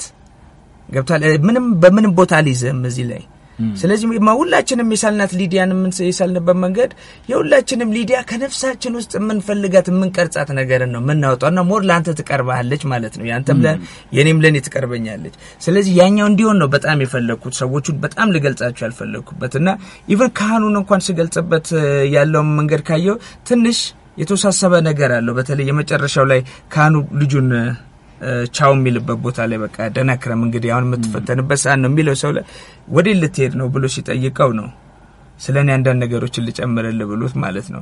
ስለዚህ እዛ ጋ ያለውን ነገር ስታየው ቃላቶቹ ትንሽ የመገማመድ ባህሪ ያላቸው ግን ባህሪዎችን የገማመድኳቸው ምክንያቱም አንድ ባህሪ ብቻ እንዳታስቀምጥ ነው። ሰፊ ባህሪ ነው እዛ ውስጥ የምታየው። ስለዚህ ከዛ ውስጥ አንተ በታየህና በገባህ መልኩ ካህኑን እንድትስለው ነው እንጂ እሱኛ አሁን ስለ ካህኑ ብዙ ለማወቅ የፈለገ ሰው እሱ ቦታ ላይ በደንብ ደጋግሞ ይኸው ብዬ እላለሁ እና እሱ ካልሆነ በስተቀር ግን እኔ ቀርጬልህ ካስቀመጥኩ በኋላ image ን ላጠፋብህ እችላለሁ። ስለዚህ አሁን ወደፊት እንኳን ይህንን መጽሐፍ ቪዲዮ እንደማላደርጉ አውቃለሁ፣ ፊልም እንደማላደርጉ በዚህ case ምክንያት ብቻ። ለምሳሌ ዮቶር መጨረሻው ገጽ ላይ በእርግጥ የየትኛውም ጉዞ ፍጻሜ የሌላው ጉዞ መነሻ ነው ይላል። ከአሁን በፊት ፍልስምናም ላይ ከዛም በፊት ደግሞ ለጽጌረዳ ጋዜጣ ላይ ስናወራ አንድ ያልከኝ ነገር ነበረ። ሞቼ በዛው እንደማልቀር ይሰማኛል። እንደውም መጀመሪያ ላይ እንደ ጥያቄ ይዤ የመጣሁት ይሄ እምነትህ ይሄ ሀሳብህ አሁንም አለ ወይ አልኩና፣ ግን ይሄ ደግሞ በራሱ መልስ ይሆናል። የመጀመሪያውንም የምስጋና እንትኑ ላይ መጽሐፍ ያበረከትኩት ያው ለእናቴና ለአባቴ ነው። እዛ ላይ የዚህን ምድር ህይወት አልፈው ወደ ሌላኛው ዓለም ለተሻገሩት ነው የሚለው ገብተዋል። ስለዚህ ለእናቴ ለወላጅ እናቴ ለወይዘሮ ጋረደች በቀለ አልሚ፣ ለወላጅ አባቴ ለአቶ ደመቀ ነጊያ መታሰቢያ ይሁንልኝ ነው የሚለው እና የዚህን ምድር ህይወት አልፈው ወደ ሌላኛው ዓለም ለተሻገሩት ነው። አሁን በቃ ጉዞ ጨርሰዋል። የዚህን ምድር ወደ ሌላው ዓለም ጉዞ ጀምረዋል። እዛኛው ዓለም ላይ ኑሮ ጀምረዋል። ስለዚህ አስተሳሰቤ የመጀመሪያውም ላይ ገና የመጀመሪያው የማስታወሻነት ገጹ ላይ ያለ እንደዚሁ መጨረሻው ገጽ ላይ ይኸው ነው ያለው። ልክ ይሄኛው ተፈጸመ ካለ በኋላ ነው ሊያውም የትኛውም ጉዞ ፍጻሜ ሊያውም የተፈጸመ ነገር የለም ነው። ከተፈጸመ በኋላ የመጣ ጽሁፍ ነው ራሱ ይሄኛው። ስለዚህ እምነቱ አብሮኝ ነው ያለው። እኔ ከዚህ በፊትም ነበርኩ ብዬ ነው የማስበው። አዎ ወደፊትም እኖራለሁ። ከአሁን በፊት ነበርኩ ሲባል በምን? በምን? በምን ሁኔታ እንግዲህ አሁን የእሱኛ የጠለቀ እውቀት ነው የሚጠፋን። የሚቀጥለው ያኛው ስለ ከዚህ በፊቱ የነበረኝ እውቀት ሰፊ ከሆነ የሚቀጥለውንም በሰፊው ማወቅ አለብኝ ማለት ነው። እሱኛው ትንሽ የከበደ ነገር ነው ግን አልነበርኩም ብዬ የማስብበት ምንም ነገር የለኝም። ያ ማለት በሌላ አይነት ቅርጽ በሌላ አይነት ሁኔታ የምልህ አሁን ብዙ የዳይሜንሽን አለም ውስጥ ነው ያለ ነው አሁን እንግዲህ የሰው ልጅ ሶስት ባለ ሶስት dimension ተንቀሳቃሽ ንብረት ወይም ቁስ ነው። እላዩ ላይ ግን ውስጡ ግን ያለው ማለት ያው የትኛው ነኝ እኔ የሚውለው ይወስናል። ግን ትልቅ ደግሞ dimension የማይገደበው ነፍስ የተሸከመ ወይም ደግሞ ያቺ ነፍስ ይህን ስጋ እንደ ቱታ ለብሰው ለስራ እዚህ ምድር ላይ መጣች። ስለዚህ የስራ ልብሷ ነው ብዬ አስባለሁ። ስለዚህ ቀጣይ ጉዞ አላት። ይህን ነገር ስጨርስ ትጓዛለች ወደ ሌላው ሌላ ቦታ ላይ ሌላ ነገር አላት። ሌላ ቁስ ለብሳ ለዛ ቦታ የሚመጠን ስለዚህ ያ ጉዞ አለ ብዬ ነው የማስበው አዎ እ፣ አሁንም ቅድም መጀመሪያ አካባቢ ያነሳ ነው ከዚህ መጽሐፍ ላይ በመልካምነት ማስተማር። ልክ ይሄ የእንትኑ theory ግማሽ ጎደሎ ነው ግማሽ ሙሉ ነው አይነት ነገር። በመልካምነት ማስተማር። አንዳንዴ ደግሞ ምን ጥያቄ ይነሳል? የምናየው ህይወት መልካም ብቻ አይደለም። የበለጠው እንደውም ሌላው ነገር የገነነ ነው። ባይበልጥ እንኳን እኩል ናቸው እንኳን ብንል መልካምነት ብቻ አይደለም ያለው። ያኛውን ደግሞ ካልነካ ነው ካልቆሰቆስ ነው ምን ካላለው እንዴት ልናውቅ እንችላለን። ይሄ ለምሳሌ አንዳንድ ጊዜ ለምሳሌ ፖሊስ የቴሌቪዥን ፕሮግራም ላይ ሲቀርብ አንድ እዛ አካባቢ ከማውቀው ሰው ጋር አንዴ አውርተን ነበር። የሆነ የረቀቀ ወንጀል እንዲህ እንዲህ ተሰራ ተብሎ እንግዲህ የፖሊስ ፕሮግራም ከድሮም ጀምሮ ህብረተሰቡ እንዲነቃ እንዲማር ነው። ሬዲዮዎችም ላይ ቴሌቪዥኖችም ላይ። ልክ ያ በቀረበ ሳምንት ውስጥ ግን ሌሎች ወንጀሎች ተመሳሳይ ወንጀሎች አሰለጠንካቸው ማለት ያህል ይሆናል። አንዳንዱ ደስ ይሆናል። information የሰጠው ለምሳሌ ያልታሰበን ነገር አሳሰብክ። አሁን አሳሳች የሚባል ነገርም አለ አይደለ? አሳሳች የምትለው ነገር ነው። ያልታሰበ ነገርም ታሳስባል። ለዛ ነው አንዳንድ ነገሮች ባይነገሩ ይሻላል የምትለው። ስለዚህ በሌላ መንገድ የምትነግርበት ካገኘ ማለት ነው። ለምሳሌ ለእነሱ ገብቶት ግን ከዚህ ለሚማሩት የማይገባበት መንገድ ካለ ስለ መንገዶችን ማሰብ መቻል አለብን። ስለዚህ የምናስተምርበት መንገድ ጥንቃቄ የሚፈልገው ለሌላም ዓላማ ሊውል ስለሚችል ነው። ስለዚህ አንዳንድ information ይሆናል። አንዳንዴ ስለ ክፉ የምታወራው ነገር ፕሮፓጋንዳ ሳይሆን እኮ ለማሳወቅ ያህል ብቻ information የምትናገራቸው ነገሮች ክፉ ላይሆኑ ይችላሉ። ያ ማለት ግን ጥላቸውን አያጠሉም አይደለም። ሁሉም ተሸሽቶ ስለማይቻል ብቻ ነው። ግን ሌላውን ነገር ስታይ ሲበዛብ ሲደጋገበብ ግን ፕሮፓጋንዳ ይሆናል። ገብቷል። የክፉ ፕሮፓጋንዳ ደግሞ ጥላው ከባድ ነው። ስለዚህ በቃ ወተት ውስጥ ትንሽ ደም ጠብ የማድረግ ያለና ያ ወተት እንዴት ይበረዛል? ወተቱን አምጥተህ ትንሽ ጠብታ ደም ደም ውስጥ ደግሞ አድርገው ምንም ይሆናል። አየህ የዚህን ያህል ለመበረዝ ትንሽ ነገር በቂም ሊሆን ይችላል። ግን እንደ ፕሮፓጋንዳ ጠበቅ ተደርጎ ምናምን የሚካሄድበት አካሄድ ልክ አይደለም እንጂ እንደ information የሚነገሩ ነገሮች አሉ። ስለ ክፋት ምናምን ልታነሳ ትችላለህ ትርጉሙን ለማወቅ። እኔ ግን ስለ ክፋት ትርጉም ለማወቅ ስለ ፍቅር ትርጉም ይበልጥ ቢሰበክ የእሱ ተቃራኒው ማለት ክፋት ነው ብለህ ብደመድም የብርሃኑ ተቃራኒ ጨለማ በቃ የብርሃኑ ተቃራኒው ጨለማ ነው ብለህ ስለ ብርሃን ብዙ ብናወራ የተሻለ ነው። ሪኮግኒሽኑን መስጠት ያለብን ደጋግመን ቃሉ ከአፋችን ሊወጣ የሚገባው ፍቅር፣ ሰላም፣ ብርሃን የሚለው ቃል በጣም በጣም ከአፋችን ደጋግሞ ሊወጣ ይገባል። አጠቃላይ በብዙ ሚሊዮን ህዝቦች አንድ ላይ ብዙ ሚሊዮን ህዝቦች ፍቅር ፍቅር ፍቅር የሚለውን ቃል ሰላም ሰላም ሰላም የሚለውን ቃሉን ብቻ ቢናገሩት እንኳን እሱ ራሱ በሆነ አይነት ለሆነ አይነት ደቂቃዎች ወይም ሰከንዶች ድንገት የተጀመረን ጦርነቱን ላይ ማቆም አቅም ይኖረዋል ብዬ አስባለሁ። ዓለም ላይ ያለው ህዝብ በአንድነት ተነስቶ በአንድ ጊዜ ለፍቅር በኩል ሰዓት ተመሳሳይ የህሊና ጸሎት በል ወይም ፍቅር የሚለውን ቃል አንድ ላይ ቢጮው ዓለም ላይ ትልቅ ለውጥ ማምጣት እንችላለን ነው። ይህንን ለማድረግ ሚዲያ ነው አደለ? የሁላ ሚዲያ ግን ስለ ፍቅር በአንድ ቀን እንደዚህ የሚወራበት ነገር ውስጥ አይደለም ያለው። ገብቷል። አንድ ላይ የሰው ልጅ ዌቡ እንዳለ የተሳሰረውን የሰው ልጅ መንፈስ በፍቅርና በእንትን ለመቃኘት የሚደረጉ ጥረቶች አታይም። ዓለም ላይ ጦርነትንም ለማስፋፋት ሆነ በአጠቃላይ ያው ረሃቡንም ቸነፈሩንም በለው ብቻ የሰው ልጅ ዞሮ ዞሮ የሚያጎበድድበት ሁኔታ የሚገዛበት ሁኔታ ለመፍጠር ግን ርቅቅ ያለ መሳሪያዎች ለመስራት የዚህን ያህል ይተጋል። አንዳንዴ ለምሳሌ ስነ ጽሁፍ ላይ ዞሮ ዞሮ የሰው ልጆች ናቸው ያወጡት። የሰው ልጆች ያወጡት ህግ ደግሞ በራሱ ልክ ነው ማለት ባይሆንም ለምሳሌ ግጭት እንዲኖር የግድ ይፈለጋል። አንድ አንድ literature ላይ ግጭት አለመኖሩ ራሱ እንደ literature ኡ ድክመት ታይቶም በቃ ውድድር ከሆነ ከውድድሩ እንዲወጣ ይደረጋል። እንዲህ ተደርጎ ስለተሰራ ደግሞ ሊሆን ይችላል። ለምሳሌ እኩይ ገጸ ባህሪያት በመላው ዓለም ተቀባይነት አላቸው። ስራቸውን አትወደውም፣ ብታገኝ ልትገላቸው ትችላለህ። ድንጋይ፣ ጫማ ምናምን ተወርውሮባቸዋል በአንዳንዶቹ ላይ ሲባል እንደምንሰማው። ያም ሆኖ ግን እንዲኖሩ ደግሞ ትፈልጋለህ፣ መምጣታቸውን ትናፍቃለህ። አንድ ክፍል ውስጥ ሁለት ክፍል ውስጥ ለምሳሌ ተከታታይ ድራማ ቢሆን አንድ ሁለት ክፍል ያን እኩይ ገጸ ባህሪ አውጣውና እንዳይኖር ብታደርገው የመቀስቀስ ነገር ይኖረዋል። ቅድም አንተ እንዳልከው እንዲህ አይነት ጣዕም እንዲፈጠር ስለተደረገ ከዛ ጣዕም ወጥቶ ሊሆን ይችላል። በሌላ መንገድ ደግሞ ለምሳሌ በጣም ቅልጥ ያለ የፍቅር scene ኦች ይማርኩናል። ማንንም የሰው ልጅ ሰዎች እያደጉ እየተዋደዱ ምን እያሉ ሲሄዱ ደስ ይለናል። ግን ያ ነገር ደግሞ እንዲደፈርስ መደረግ ደግሞ ይኖርበታል እና አንዳንድ ጊዜ ራሱ እንትናችንን ላይ art ኪነ የምንለው ነገር በራሱ ውስጥ እንዲህ አይነት ነገር የማራባት ነገር ላይ ትልቁ ባለድርሻ ሰው ነው። ሁለቱንም ዞሮ ዞሮ ያው ማጽዳት በሁለቱም side ይዛ አንዳንድ ጊዜ ቅድም እንዳነሳው ነው ትንሽ information አስፈላጊ ነው ወይ ብለህ ትላለህ።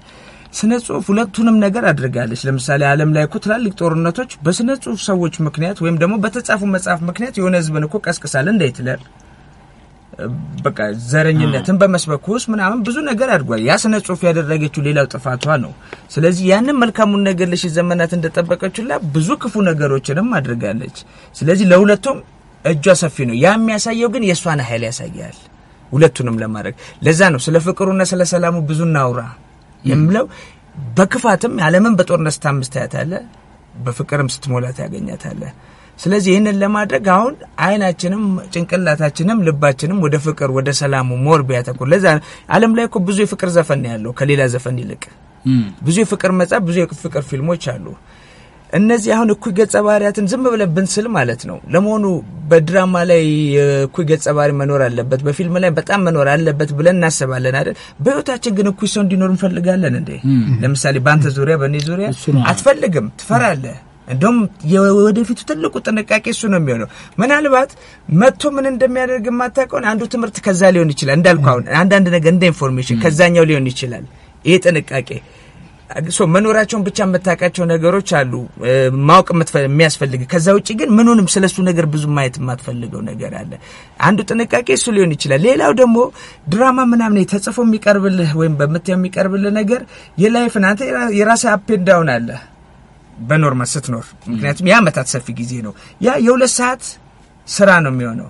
ስለዚህ እኩይ ገጸ ባህሪ ማምጣት ማለት በሁለት ሰዓት ውስጥ የሀያ ዓመትን up and down ን በአጭሩ energy ውን ማምጣት የሚቻልበት አንደኛውን መንገድ ስለሆነ ጭምር ነው የምታመጣው። አለዛ ግን በሁለት ሰዓት ውስጥ የአንድ ሰውን ሙሉ ታሪክ ወይም ላይፉን በቃ የሚገርመውን ፓርቱን ማምጣት ስለማትችል ይሆናል። ስለዚህ ከፍታና ዝቅታውን ለመግለጽ ይሄኛው እንደ አማራጭ ታይቶ ነው። ሌሎች አማራጮች የሉም ግን አይደለም። ቀሏል፣ ተለምዷል። እሱኛው በቃ በማነጻጸር ውስጥ ማለት ነው። ክፉ ገጸ ባህሪ በማ ግን አለሙላ ስታየው አክተሩ ብሎ የሚለው ዋናውን ገጸ ባህሪ ወይም ያ ተጎጂውን ብለህ የምታስበው ሰው እንዲያሸንፍ ነው የሚፈልገው አለሙላ። even ሌሎች በቃ እንደሱ አይነት እንደዛኛው ተንኮለኛ የሆኑ ሰዎች እንኳን እያዩት እያለ ያ እንዲያሸንፍ ነው የሚፈልጉት። እያንዳቻችን ውስጥ ይሄ ጉዳት አለ፣ ይሄ ጉድለት አለ፣ ገብቷል። በትላልቆች መወቀጥ አለ። ስለዚህ giant ኡ ሲወድቅ ማየት እንፈልጋለን። ለዛ ነው ወደ actor ኡ ምናምን ወደምንለው ነገር ብዙ ጊዜ ፊልምም ስናይ የምናዘወትረው ድጋፋችንን።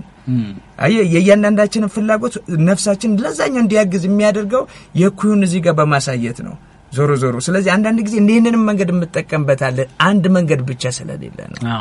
እዚህ ጋር አሌክስ ይሄን ነገርም በሌላም ጥያቄ ብናየው ብዬ የማስበው ከሰዓትም አንጻር አጠር አጠር እያደረግን ምን ትዝ አለኝ መሰለ ልክ ይሄ የመልካምነት እና የክፋት የሚለውን ፖፑሌሽን ሚዲያ ሴንተር የሚሰራው የቀን ቅኝት የሚባል በፊት እኛ ከመጀመሪያችን በፊት የነበረ ድራማ ነበረ። መስፍን ጌታቸው፣ አዲስ ገብረ ማርያም እና ዳንኤል አበበ የሚሰሩት እዛ ላይ የዳምጤ ክፉ ገጸ ባህሪ ነው፣ ፍቅርተ ደግሞ መልካም ገጸ ባህሪ ናት። የሚገርመው ድራማው ከማለቁ በፊት ይሁን በኋላ ብቻ አላቅምና ከሌላ ቦታ ከፍቅርተ ጋር ለመኖር የመጡ አሉ።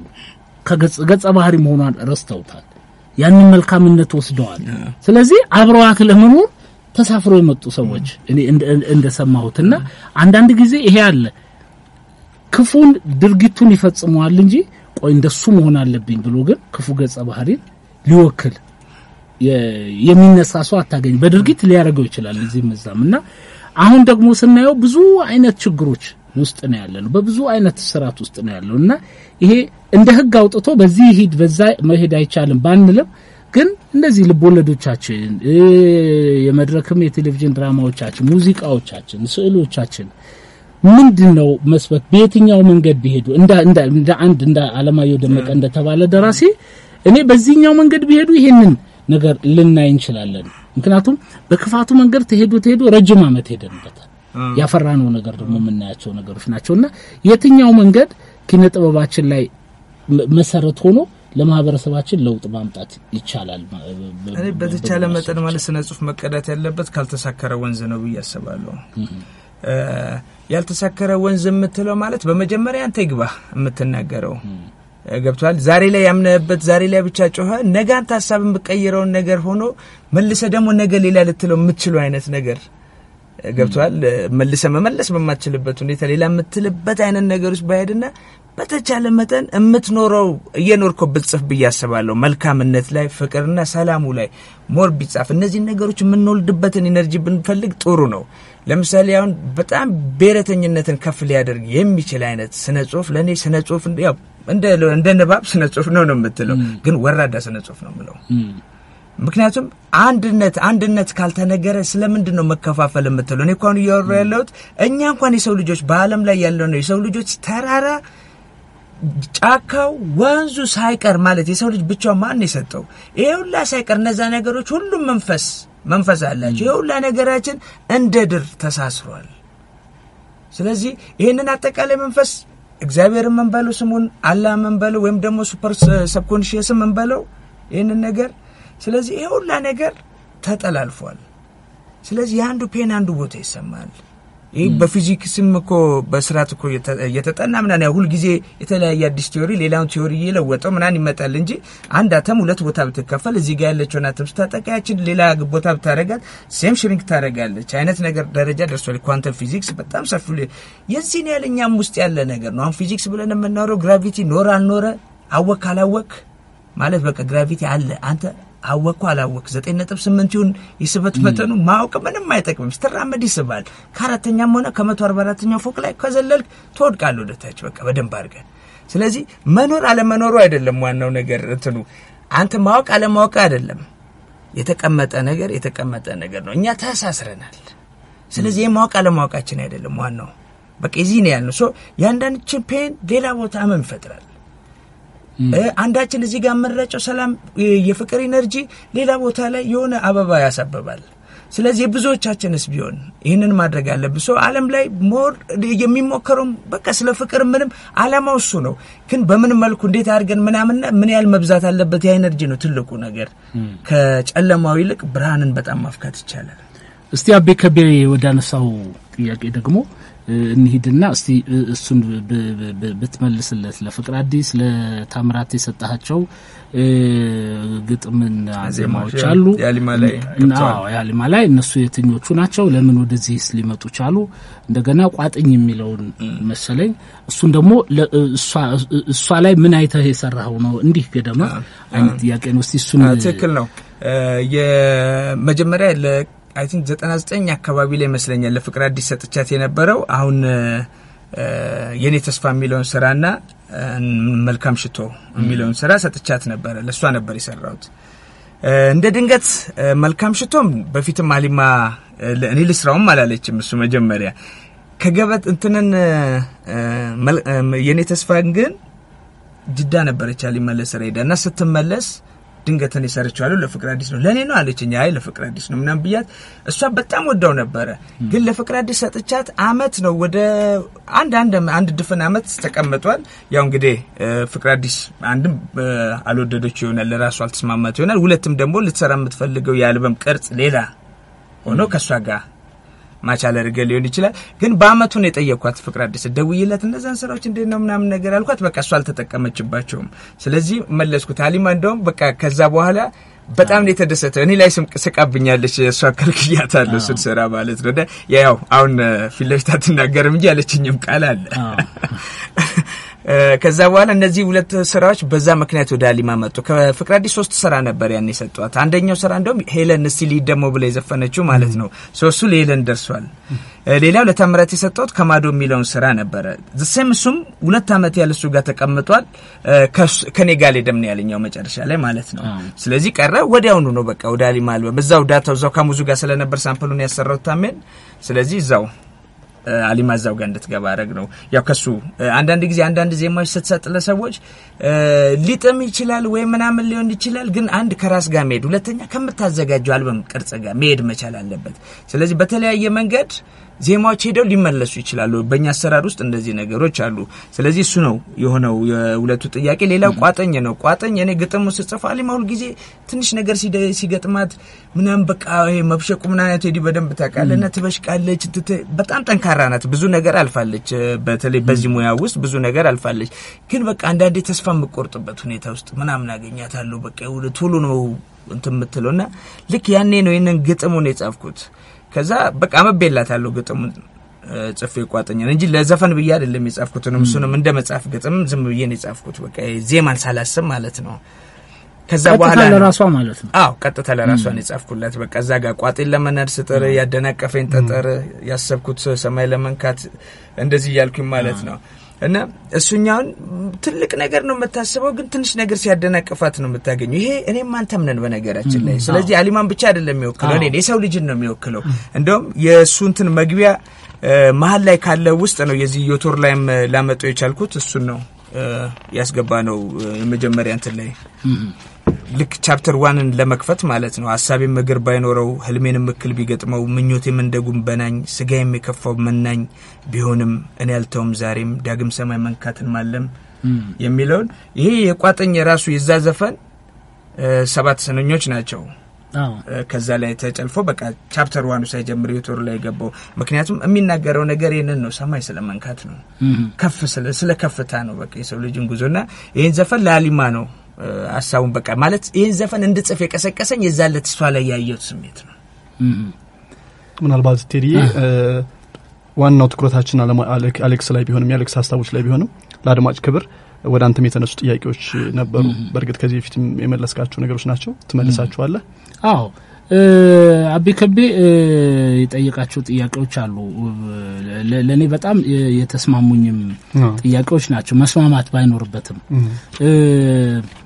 አንደኛው ጋዜጠኝነት ያለው እኔ በትክክል አሁን አቤ ከቤ ራሱ እንደተሰማው ነው የሚሰማኝ። የኔ የተሻለ የሚመች ቦታ ብዬ የማስበው ጋዜጠኝነቱን ነው። ምንም ዋጋ ባያስከፍልም በመሰረቱ እኔ ጋዜጠኝነት ላይ ምንም የከፈልኩት ዋጋ የለም ምንም በቃ እንደ ማንኛውም ሰው ነው የሰራሁት። እንደ ማንኛውም ሳይሆን እኔ ምንም ጋዜጠኝነት ለእኔ የደስታ ምንጭም የገንዘብ ምንጭም የኑሮ መኖሪያም ጭምር ሆኖ አገልግሎኛል። ግን ደግሞ ምንም የተሻለ ጥቅም ብታገኝ ለምሳሌ ሌሎች እንደዚህ ድራማዎቹ አካባቢ የምሰራቸው ነገሮች አሉ። በእነሱ ከፍተኛ ሀብት ብታገኝ ብትለኝ ምንም የማልጠራጠረው የተሻለ ሚዲያ ነው ልፈጥር የምችለው፣ ወደ ጋዜጠኝነት ነው ልመለስ የምችለው። ያንን መመለስ ባልችል ደግሞ በነጻ ደስ ያለኝ ቦታ ላይ የዞርኩ በነጻ ላገለግል እችላለሁ። በነጻ ማገልገል ብቻ አይደለም፣ መረጃ የሚያሰባስቡ ሰዎች በስሬም ቀጥሬ ግን ለአንተ ጋዜጣ ወይም ለአንተ ሬዲዮ ጣቢያ በነጻ ይሆናል ጽሁፉን ምሰጥ ገንዘቡ እስካልቸገረኝ ድረስ። ምክንያቱም ለእነዚህ ሁሉ የሚከፍል ሚዲያም የለም። ምናልባት በዚህ ይሆናል ብዙ ጊዜ ጋዜጠኝነቱ ላይ በዛው ያልቀጠልኩበት ያው ወጥቻለሁ ብዬ አይደለም አስበው፣ ግን በዛው ሊሄድ ያልቻልኩት በዛ ነው ይመስለኝ። ምክንያቱም ለጋዜጠኝነት የሚከፈለው ዋጋ ብዙ እንትን ስላልሆነ ለኑሮ በቂ ስላልሆነ ማለት ነው። እና እኔ ሌሎቹ ስራዎች አሁን ሰዎች ቦታ የሚሰጧቸው ቲያትሮቹም፣ የቴሌቪዥን ድራማዎቹ፣ ምኖቹም እነሱ ለመኖሪያ ነው የሚሆኑት። በራሱ art ስለሆነ ይሰራል፣ ጥሩ ነው። እዛም ላይ ብዙ ክፋት የለውም። ግን ለእኔ የሚመቸኝ ቦታ ይሄ ነው። በሂደት ደግሞ ምን አረጋገጥክ ብትለኝ፣ በተለይ አሁን የቤት ስራ የሚባል ድራማ ሰርተናል። በሂደት ያረጋገጥኩት ነገር ጋዜጠኝነት ለእኔ የሚመች ቦታ እሱ መሆኑን ነው። ስለዚህ ምንም አቢ ከቤ እንዳለው እነዛ ስራዎች ላይ እንደውም በጣም ረጅም አመት ነው የኖርኩበት። ግን እዚህ ጋር አንድ አመት የምትኖርበት ህይወት ረጅም አመት እዛ ካለው በጣም በላይ ሆኖ ታገኘዋለህ። እና ጋዜጠኝነት ምንም ጥያቄ የለውም እስካለው ድረስ እኖርበታለሁ ብዬ ነው የማስበው። ከዛ ሌላ ግን ሚዲያ ላይ ራስን አላወጣህም የሚለው አይ አቤ ተሳስቶ ይሆናል እንጂ ይሄ ለምሳሌ አሁን እዚህ ጋር የቀረብኩበት አንዱ ራሴን መግለጫ መንገድ ነው። ያን ያህል ከሰራው ስራ አንጻር የቀረብኩባቸው ሚዲያዎች ትንሽ አይደሉም። ከዚህ በላይ ደግሞ መሆን ደግሞ የለበትም። አንድ ጋዜጠኛ በየቦታ እየዞረ interview ከሰጠ መቼም አደጋ ነው። ራሱ የእሱ የስራ ድርሻ ሌላ ነው። ግን በሆነ መንገድ ሰዎች ስለሱ እንዲያውቁ የሚያስፈልጉ ነገሮች ስላሉ እኔ ሌላ ሚዲያ ላይ ሰርቼ ለአንተ ግን interview ልሰጥ እችላለሁ እና ከዛ አንጻር እስካሁን የሰጠኋቸው ምናልባት ከበቂ በላይ ይሆናሉ እንጂ አላነሱም። ስለዚህ እኔ በቂ ነው ብዬ አስባለሁ። ጋዜጠኝነቱ ግን ለእሱ እንዳለው ነው። በነገራችን ላይ እጅግ በጣም በርካታ ጋዜጠኞች አቤ ከቤ ያለው መረጃ ያህል የላቸውም። ይሄ በጣም መነገር ያለበት ነው። መነገር ያለበት ነው። ለምን እሱ ያለው አለ ብዙ ጊዜ የሚያስቀኝ በምን ሁኔታ ነው ያለው ጋዜጠኛው ምንም እኔ አንድ ጋዜጠኛ በአንድ ቲያትሬ ላይ interview ሊያደርገኝ ብሎ እስቲ ስለ ታሪኩ ንገረኝ ቲያትሩን ስላላየሁት ይለኛል። ያንኑ ቲያትር ማለት ነው። በዛ ቲያትር ላይ ነው ስለ ቲያትሩ መከፈት ነው ልናወራ የነበረው እና አንዳንድ ጊዜ እንደዚህ አይነት ሁኔታዎችም ስላሉ ይሄ በተለይ ደግሞ አሁንም አልኩት እኔ ራሴ እንጂ ይሄ ሁኔታ የሚባል ቃል እንዴት እንደጠላው ፖለቲከኞቹ ከሱ ውጭ ቃል የላቸውም። በእንትን ያለበት ሁኔታ ነው ያለው። ሁሉም ፖለቲከኛ እንደታዘዘ ነገር ነው፣ በመመሪያ እንደታዘዘ ነገር እሱን ነው የሚለው። ፌስቡክ ላይ ደግሞ መቀለጃ ነው ያው እንትን ያለውበት ሁኔታ ነው ያለው ሲሉ መቀለጃቸውን እና ሁኔታ የሚል ቃል አንደኛ ድፍን ነው፣ ምንም አይገልጽም። ቃላት ሀሳብ ሲያጥርህ የምትጠቀምበት ነገር ነው እና ብዙ ጋዜጠኞች ጥያቄውም ሳይኖር ምኑም ሳይኖር እስቲ እንዲህ አይነቱ በምን ሁኔታ ትገልጸዋለህ? ምንም ምንም እንትን ያላለ ነገር ነው እና እኔ እንደዛ አይደለውም ብዬ አስባለሁ። ይህንን ልዋሽ አልችልም። መቼም የራሴ ጉዳይ ስለሆነ ልዋሽ አልችልም። ጋዜጠኝነቱ ላይ ትንሽ ትኩረት የምሰጥ ሰው ነኝ ብዬም አስባለሁ። መስራት ያለብኝን ያህል እንዳልሰራው አውቃለሁ። ማንበብ ያለብኝን ያህል እንዳላነበብኩ አውቃለሁ። በምሰራቸው ኢንተርቪዎች ማወቅ ያለብኝን ያህል እያወቅኩ እንደማልሄድም አውቃለሁ። ግን ያም ቢሆን ያ አካባቢ ለእኔ የተመቻቸ ቦታ ነው፣ ለእኔ የሚመቸኝ ቦታ ነው። ምንም ችግር ቢኖረው ብዬ አስባለሁ። ገንዘቡ ምኑ ምኑ እነሱ ሁለተኛ ነገሮች ናቸው። እንደዛ ነው የማምነው። በእርግጥ ጋዜጠኝነትን ሌሎች ሰዎች እንዲያከብሩት ከምትጠብቀው በላይ ሙያው ላይ ያለው ሰው ደግሞ እንዲያከብረው ነው የሚጠበቀውም። አሁን አንተ እንደገለጽከው ለራስህ ሙያውን አክብረህ መገኘት በራሱ ለሌሎች ክብርን ማሳየትም ጭምር እንደሆነ አምናለሁኝ። ወደ አሌክስ እንመለስ። እሺ፣ ወደ አሌክስ ስንመለስ ግን እኔ እንትን እንዳትረሳ ብዬ ነው። አንደኛ እስካሁን በስፋት በሚገባው መጠን ሊሆንም ላይሆንም ቢችልም ስለ ዮቶር አውርተናል። ግን እንደው ጠቅለል ባለ መንገድ ምንድን ነው እያንዳንዱ ደራሲ መቼ ወደ ሰው የሚያደርሰው እንዲህ ልበል የሚለው ውስጡ የሚጮህ ነገር አለው። እና በዮቶር ምንድን ነው ለዚህ ማህበረሰብ? ምክንያቱም በአማርኛ ነው የቀረበው ለአማርኛ ተናጋሪ ወይም ለሀገር ህዝብ ነው። በቃ አማርኛ እንኳን ባይችል አስተርጉሞም ያንብበው ምን ያለ የሚበል ብቻ ግን ለሀገር ህዝብ ነው የተሰጠውና በዮቶር ምንድን ነው ለዚህ ለዚህ የኔ ለምትለው ሰው ልሰጥ ያሰብከው? በቀጣይስ ደግሞ ምንድን ነው የሚታሰበው? በዚህ ፍልስፍና ውስጥ ሊሆን ይችላል በሌላም ሊሆን ይችላል ይህንን ደግሞ የምጠይቀው ለምንድን ነው ግጥምና ዜማም ያን ያህልም እየሰራህ እኔ የልብ ወለድ የረጅም ልብ ወለድ ጸሐፊ ነኝ ብለህ እንደምታስብ ስለማቅ በኋላ ላይም ቢሆን ይሄ እንኳን የመጣው የታተመው። እኔ እዚህ አጠቃላይ የምናገረው ማለት በአጭሩ ግለጽልኝ ብትለኝ ይህንን የሰው ልጅ ነኝ ካለው በላይ ነው ነው። እያንዳንዳችን ነኝ ካልነው በላይ ነን። ብዙ ነገራችን ታግዷል ማለት ያገርነው ራሳችንን ወይም ደግሞ ግንዛቤያችንም ጭምር ግንዛቤ ያው የመጣበት መንገድ ስላለ እና ነኝ ካለው በነፍሳችን ውስጥ ያለውን ኃይል አናውቀውም። አንተ ሳውቀኸዋለሁ ብትለኝ እኔ ተማሪው ነኝ still ግን ከትናንት ተንቀሳቅሻለሁ። ስለዚህ ያለንን ኃይል የንቃት ደረጃ አሁን ለምሳሌ ስለ ተፈጥሮ ቋንቋ ደጋግሜ ያወራል። ምልክቶችን ማየት አልተነገረም ወይ? ቅድም ያልኩ የዓለም ሁላ የታሳሰረችበት መስመር በኋላ የሚሆነውን ነገር አሁን እየሆነ እንድታየው አላደረገም ወይ? ምልክቶች አልተሰጠህም ወይ ብለህ ስትል አይናችን ስላላየ ወይም ነው ብለንም ደግሞ ምልክትም ነው ብለን ለማለት እኮ አቅጣጫችንን ማወቅ አለብን። ወዴት እየሄድን ያመጣ ምንን ለመናገር የመጣ ለማለት አንድ ነገር ይኖራል። ቢጫ ቀለም መጀመሩን ቢጫ ነገር ካላየ በስተቀር ማለት ነው። ትናንሽ ከሆነች ብርቱካናማ እየፈገገ የመጣ ቢጫ እዚያ አካባቢ ቢመጣ ወደ ቢጫ እየሄድክ ከሆነ ነው አይነት የሚያርፍበት። እሱ ምልክቱ ነው። ስለዚህ የሰው ልጅ እነዚህን ሁላ ለማየት ውስጡ ነፍስ ውስጥ energy አለ።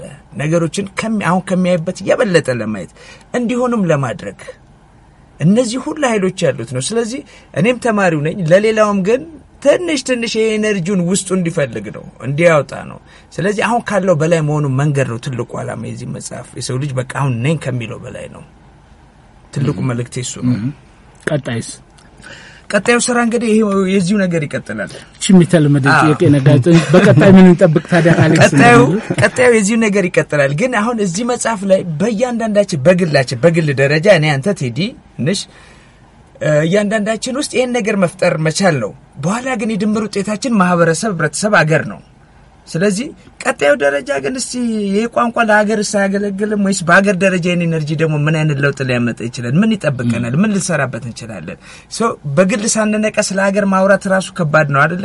ማለት ሁልጊዜ individual ኡ ማንቃትና እሱን አንድ ስሜት መፍጠር ማለት ድምሩ በግል ስትሰራው በኋላ ይደመራል ያ መንፈስ። ስለዚህ ሀገር ነው እና አሁን የዚህ መጽሐፍ ቀጣይ ክፍል አለው። ይሄኛው more ደግሞ ይሄ ልጅ እዚህ ጋር የሆነ ነገር ነቃ እንደ አንድ ትውልድ፣ ያኛው ደግሞ እንደ ባለፈው ትውልድ አስተማሪ ሆነው ካህኑ መጥቷል። ስለዚህ የእነዚህ ሁለቱ ውጤት ምንድን ነው? ሌላ ሙሴ ለምን ፈለገ ዮቶር? ስለዚህ ሌላ ሙሴ ስትል ያው አገር ነው ዞሮ ዞሮ ሰው አገርን በተመለከተ እንግዲህ የተሻለ ንቃት ደግሞ የሀገርን ንቃት የሀገርን ከፍታ ይዞ የሚመጣ ጉዞ አለው ልጁ። ስለዚህ ቀጣዩ እሱ ይሆናል ብዬ ነው እንደዛ ነው የሚሰማኝ። ግን ዮቶር ላይ ብዙ መልካምነትን፣ ብዙ ነገዎችን፣ ብዙ ተስፋዎችን የገለጽክበት ነገሮች አሉ። ኮብላዩ ካህን ራሱ ሳይቀር ብዙ ነገሮችን ገልጿል እዚህ ዮቶር ላይ። አሁን ከቀጣይ ስራ ጋር የይዤ ምን- ምን ነበር መሰል አስቤ የነበረው ለሰዎች ደስታ እንደ ክፍያ ቢሰጥ ኖሮ አሁን መንግስታቶች ደሞዝ እንደሚከፍሉት ሁሉ ደስታን መክፈል ቢጀምሩ አንተ ምን ሰርተ ነው ታስደስተን አስበህ የነበረው የሚለውን ነገር ነው ማንሳት ያሰብኩት። ቴዲ ቀደም ብሎ አንስቶታል። ቀጣዩ ላይ ያለው ትኩረቱን ደግሞ በዚህኛው መንገድ እንድገልጸው ፈልጌ ነው። ምን ሰርተ ማስደሰት ትፈልጋለህ ሰዎችን? ክፍያህ ደስታ ከሆነ የምከፍላቸው ደስታ ከሆነ ነው ወይንስ ለአንተ ደስታ ነው የሚከፈልህ፣ እንደ ገቢ ደስታ ነው የምታገኘው። ስለዚህ የትኛውን ስራ ነው መምረጥ የምትፈልገው? ለሌሎች ሰዎች ነጻነትንና ደስታ ሰጥቻቸው በሱ ደስታ ለእኔም ክፍያው እሱ ነው። ዞሮ ዞሮ የምትሰራው በአብላጫው ጊዜ ያው ደስታ የሚለው የ art ሰው ስትሆን እኮ ደስታ ነው ክፍያ ማለት ቢሆን ኖሮ አይደለም already ተከፍሎ የምትሰሩ። አሁን ለምሳሌ ደስ ብሎኛል ይህን በማድረጌ አዎ። ይህን መጽሐፍ ስጽፍ so ክፍያ ደስታ ነው። ስለዚህ ዞሮ ዞሮ ለሰዎች ነጻነትንና ደስታን ወይም እርካታንና ነጻነትን ልበልህ እሱን በመስጠት ወይም እሱን በመስራት አንድ ነገር ደግሞ ላንሳ። ዮቶር ላይ አንድ ገጽ ላይ ምን ስለምን ያወራል መሰለ? ሰዎች በሰውነታቸው ላይ ባለው ባለባበሳቸው ሊሆን ይችላል፣ በሚማረኩበት ቁስ ሊሆን ይችላል። ያ ነገር ማንነታቸውን የሚገልጽበት ነገር እንዳለ የገለጽክበት ነገር አለ። ባልሳሳት ወደ ገጽ 58 አካባቢ ይመስለኛል or ገጽ 72 አካባቢ ይመስለኛል። እንግዲህ ከሁለት አንዱ ነው። ግን ምን አስቤ መሰለ? ሰዎች አስመሳይ አይደሉም ብለህ ታምናለህ እንዴ ነው አሁን የበግ ለምድ ለብሶ ተኩላ ሆኖ የሚቀርብ ሰው እንደሌለ ታምናለህ እንዴ? ምክንያቱም ሰዎች እላያቸው ላይ በሚያፈሱት ነገር ውስጣቸውን ለመግለጽ ከሞከሩ አስመሳይነት የለም ብለህ ታምናለህ? እዛ ላይ አስመሳይነት አይደለም ወይ ራሱ እሱ? እሱ እሱስ ራሱ አስመሳይነት አይደለም ወይ? አስመሳይነት ነው እንጂ እኮ አሁን ጥያቄ ከዚህ ጋር የተያዘው ብቻ አልገባኝም። እሱኛው አሁን እዚ- እዚህ ጋር የተገለጸው ነገር እንደዛ ነው የሚለው የአንድ እቃ ወይም ጉዳይ ዋጋ የሚለካው በእቃ ወይም በጉዳዩ አይነት ሳይሆን እቃ ወይም ጉዳዩ ባረፈበት ሰው ማንነት ነው ነው የሚለው። ይሄ እንግዲህ ግልጽ ነገር ነው። ግን ይሄ ነገር የሰዎችን ማንነት ይሰርቃል ወይስ አይሰርቅም የሚለው ነገር ነው እንዲመለስልኝ የፈለኩት። አይሰርቅም። አሁን አስመሳይነቱ የምትል አሁን ዞሮ ዞሮ ሰውየው ማነኝ ብሎ ነው ያቀረበው ራሱን ነው። አሁን እኔ በጠራው መንፈስ የቀረበላቸውን ሴትዮ አስቀምጬልሃለሁ። ስለዚህ አንድ እቃ ማንነቱ የሚለካው ጊዜ ሰውየው በማን ነው ነው። አንድ ኩንታል መቶ ብር አንድ ኩንታል ከሰል ዋጋ ግን መቶ ብር ነው ወይ የምር ነው? ለአሮጊቷ ምንድን ነው ያ የኩንታል ከሰል ዋጋ ነው? ምናልባት ባላቸው ከሞት የመነሳትን ያህል ስሜት ሰጥቷል። ምክንያቱም ያ እቃ መምጣት ማለት እንግዲህ ከዚህ በፊት ባላቸው ኩንታል ኩንታሉን የሚያመጣ ነበረ እና ሞቷል። ከ15 ዓመታት በኋላ ቤታቸው የገባ ነው። እስከዚህ ድረስ ዋጋ አስገኝቶላቸዋል። ስለዚህ የአንድ ነገር ዋጋው የሚለካው እቃው ቁሱ በዋጋ በተተመነለት ነገር ሳይሆን ማላ ያረፈ ነው። ለምሳሌ ስለ ገንዘብ ብታወራ ለአንድ ሚሊዮኔር መቶ ሺህ ብር ምኑ ሊሆን ይችላል? ምንም። ያ ነገር ግን ለአንድ እንትን አንድ መንደር ውስጥ ትምህርት ቤት ሊያቆም የሚችል ነገር ይሆናል። ስለዚህ ዋጋው የዛ ነገር ዋጋ ይሄ ነው ልንል የምንችለው ማ ጋ አዋልነው የሚለውን ነገር ነው። so የት ታውለዋለህ የሚለውን ነገር እንድታውቀው ነው። ዋጋ ወደሚሰጥበት ነገሮች እናውል ነው ትልቁ መልእክቱ የሱ። መልካም እንግዲህ ሰዓታችን ተጠናቆ ከዚህ በላይ ብንጫወት ደስ ይለን ነበር። ነገር ግን ሁለቱ ስልሳ ደቂቃዎች እንደ ግማሽ ሰዓት ያህል ያጠሩ ነበር የሚመስሉት። ቴዎድሮስ ተክለአረጋይ በጣም የሚያማምሩ ጠንካራ ፍሬ ያላቸው ጥያቄዎችን አነሳ። ፍሬያማ መልሶችን ደግሞ ከአለማየሁ ደመቀ ሰማን። ከልብ ነው የማመሰግነው። አድማጮቼን አክብራችሁ ዛሚ 90.7 ኤፍኤምን አክብራችሁ ስለተገኛችሁ ከልብ አመሰግናለሁ። የምንወዳችሁ አድማጮቻችንም ደግሞ ቀሪ ቀናቸው የተባረከ እንዲሆን እንመኛለን። ጨርሰናል። እኛም እናመሰግናለን።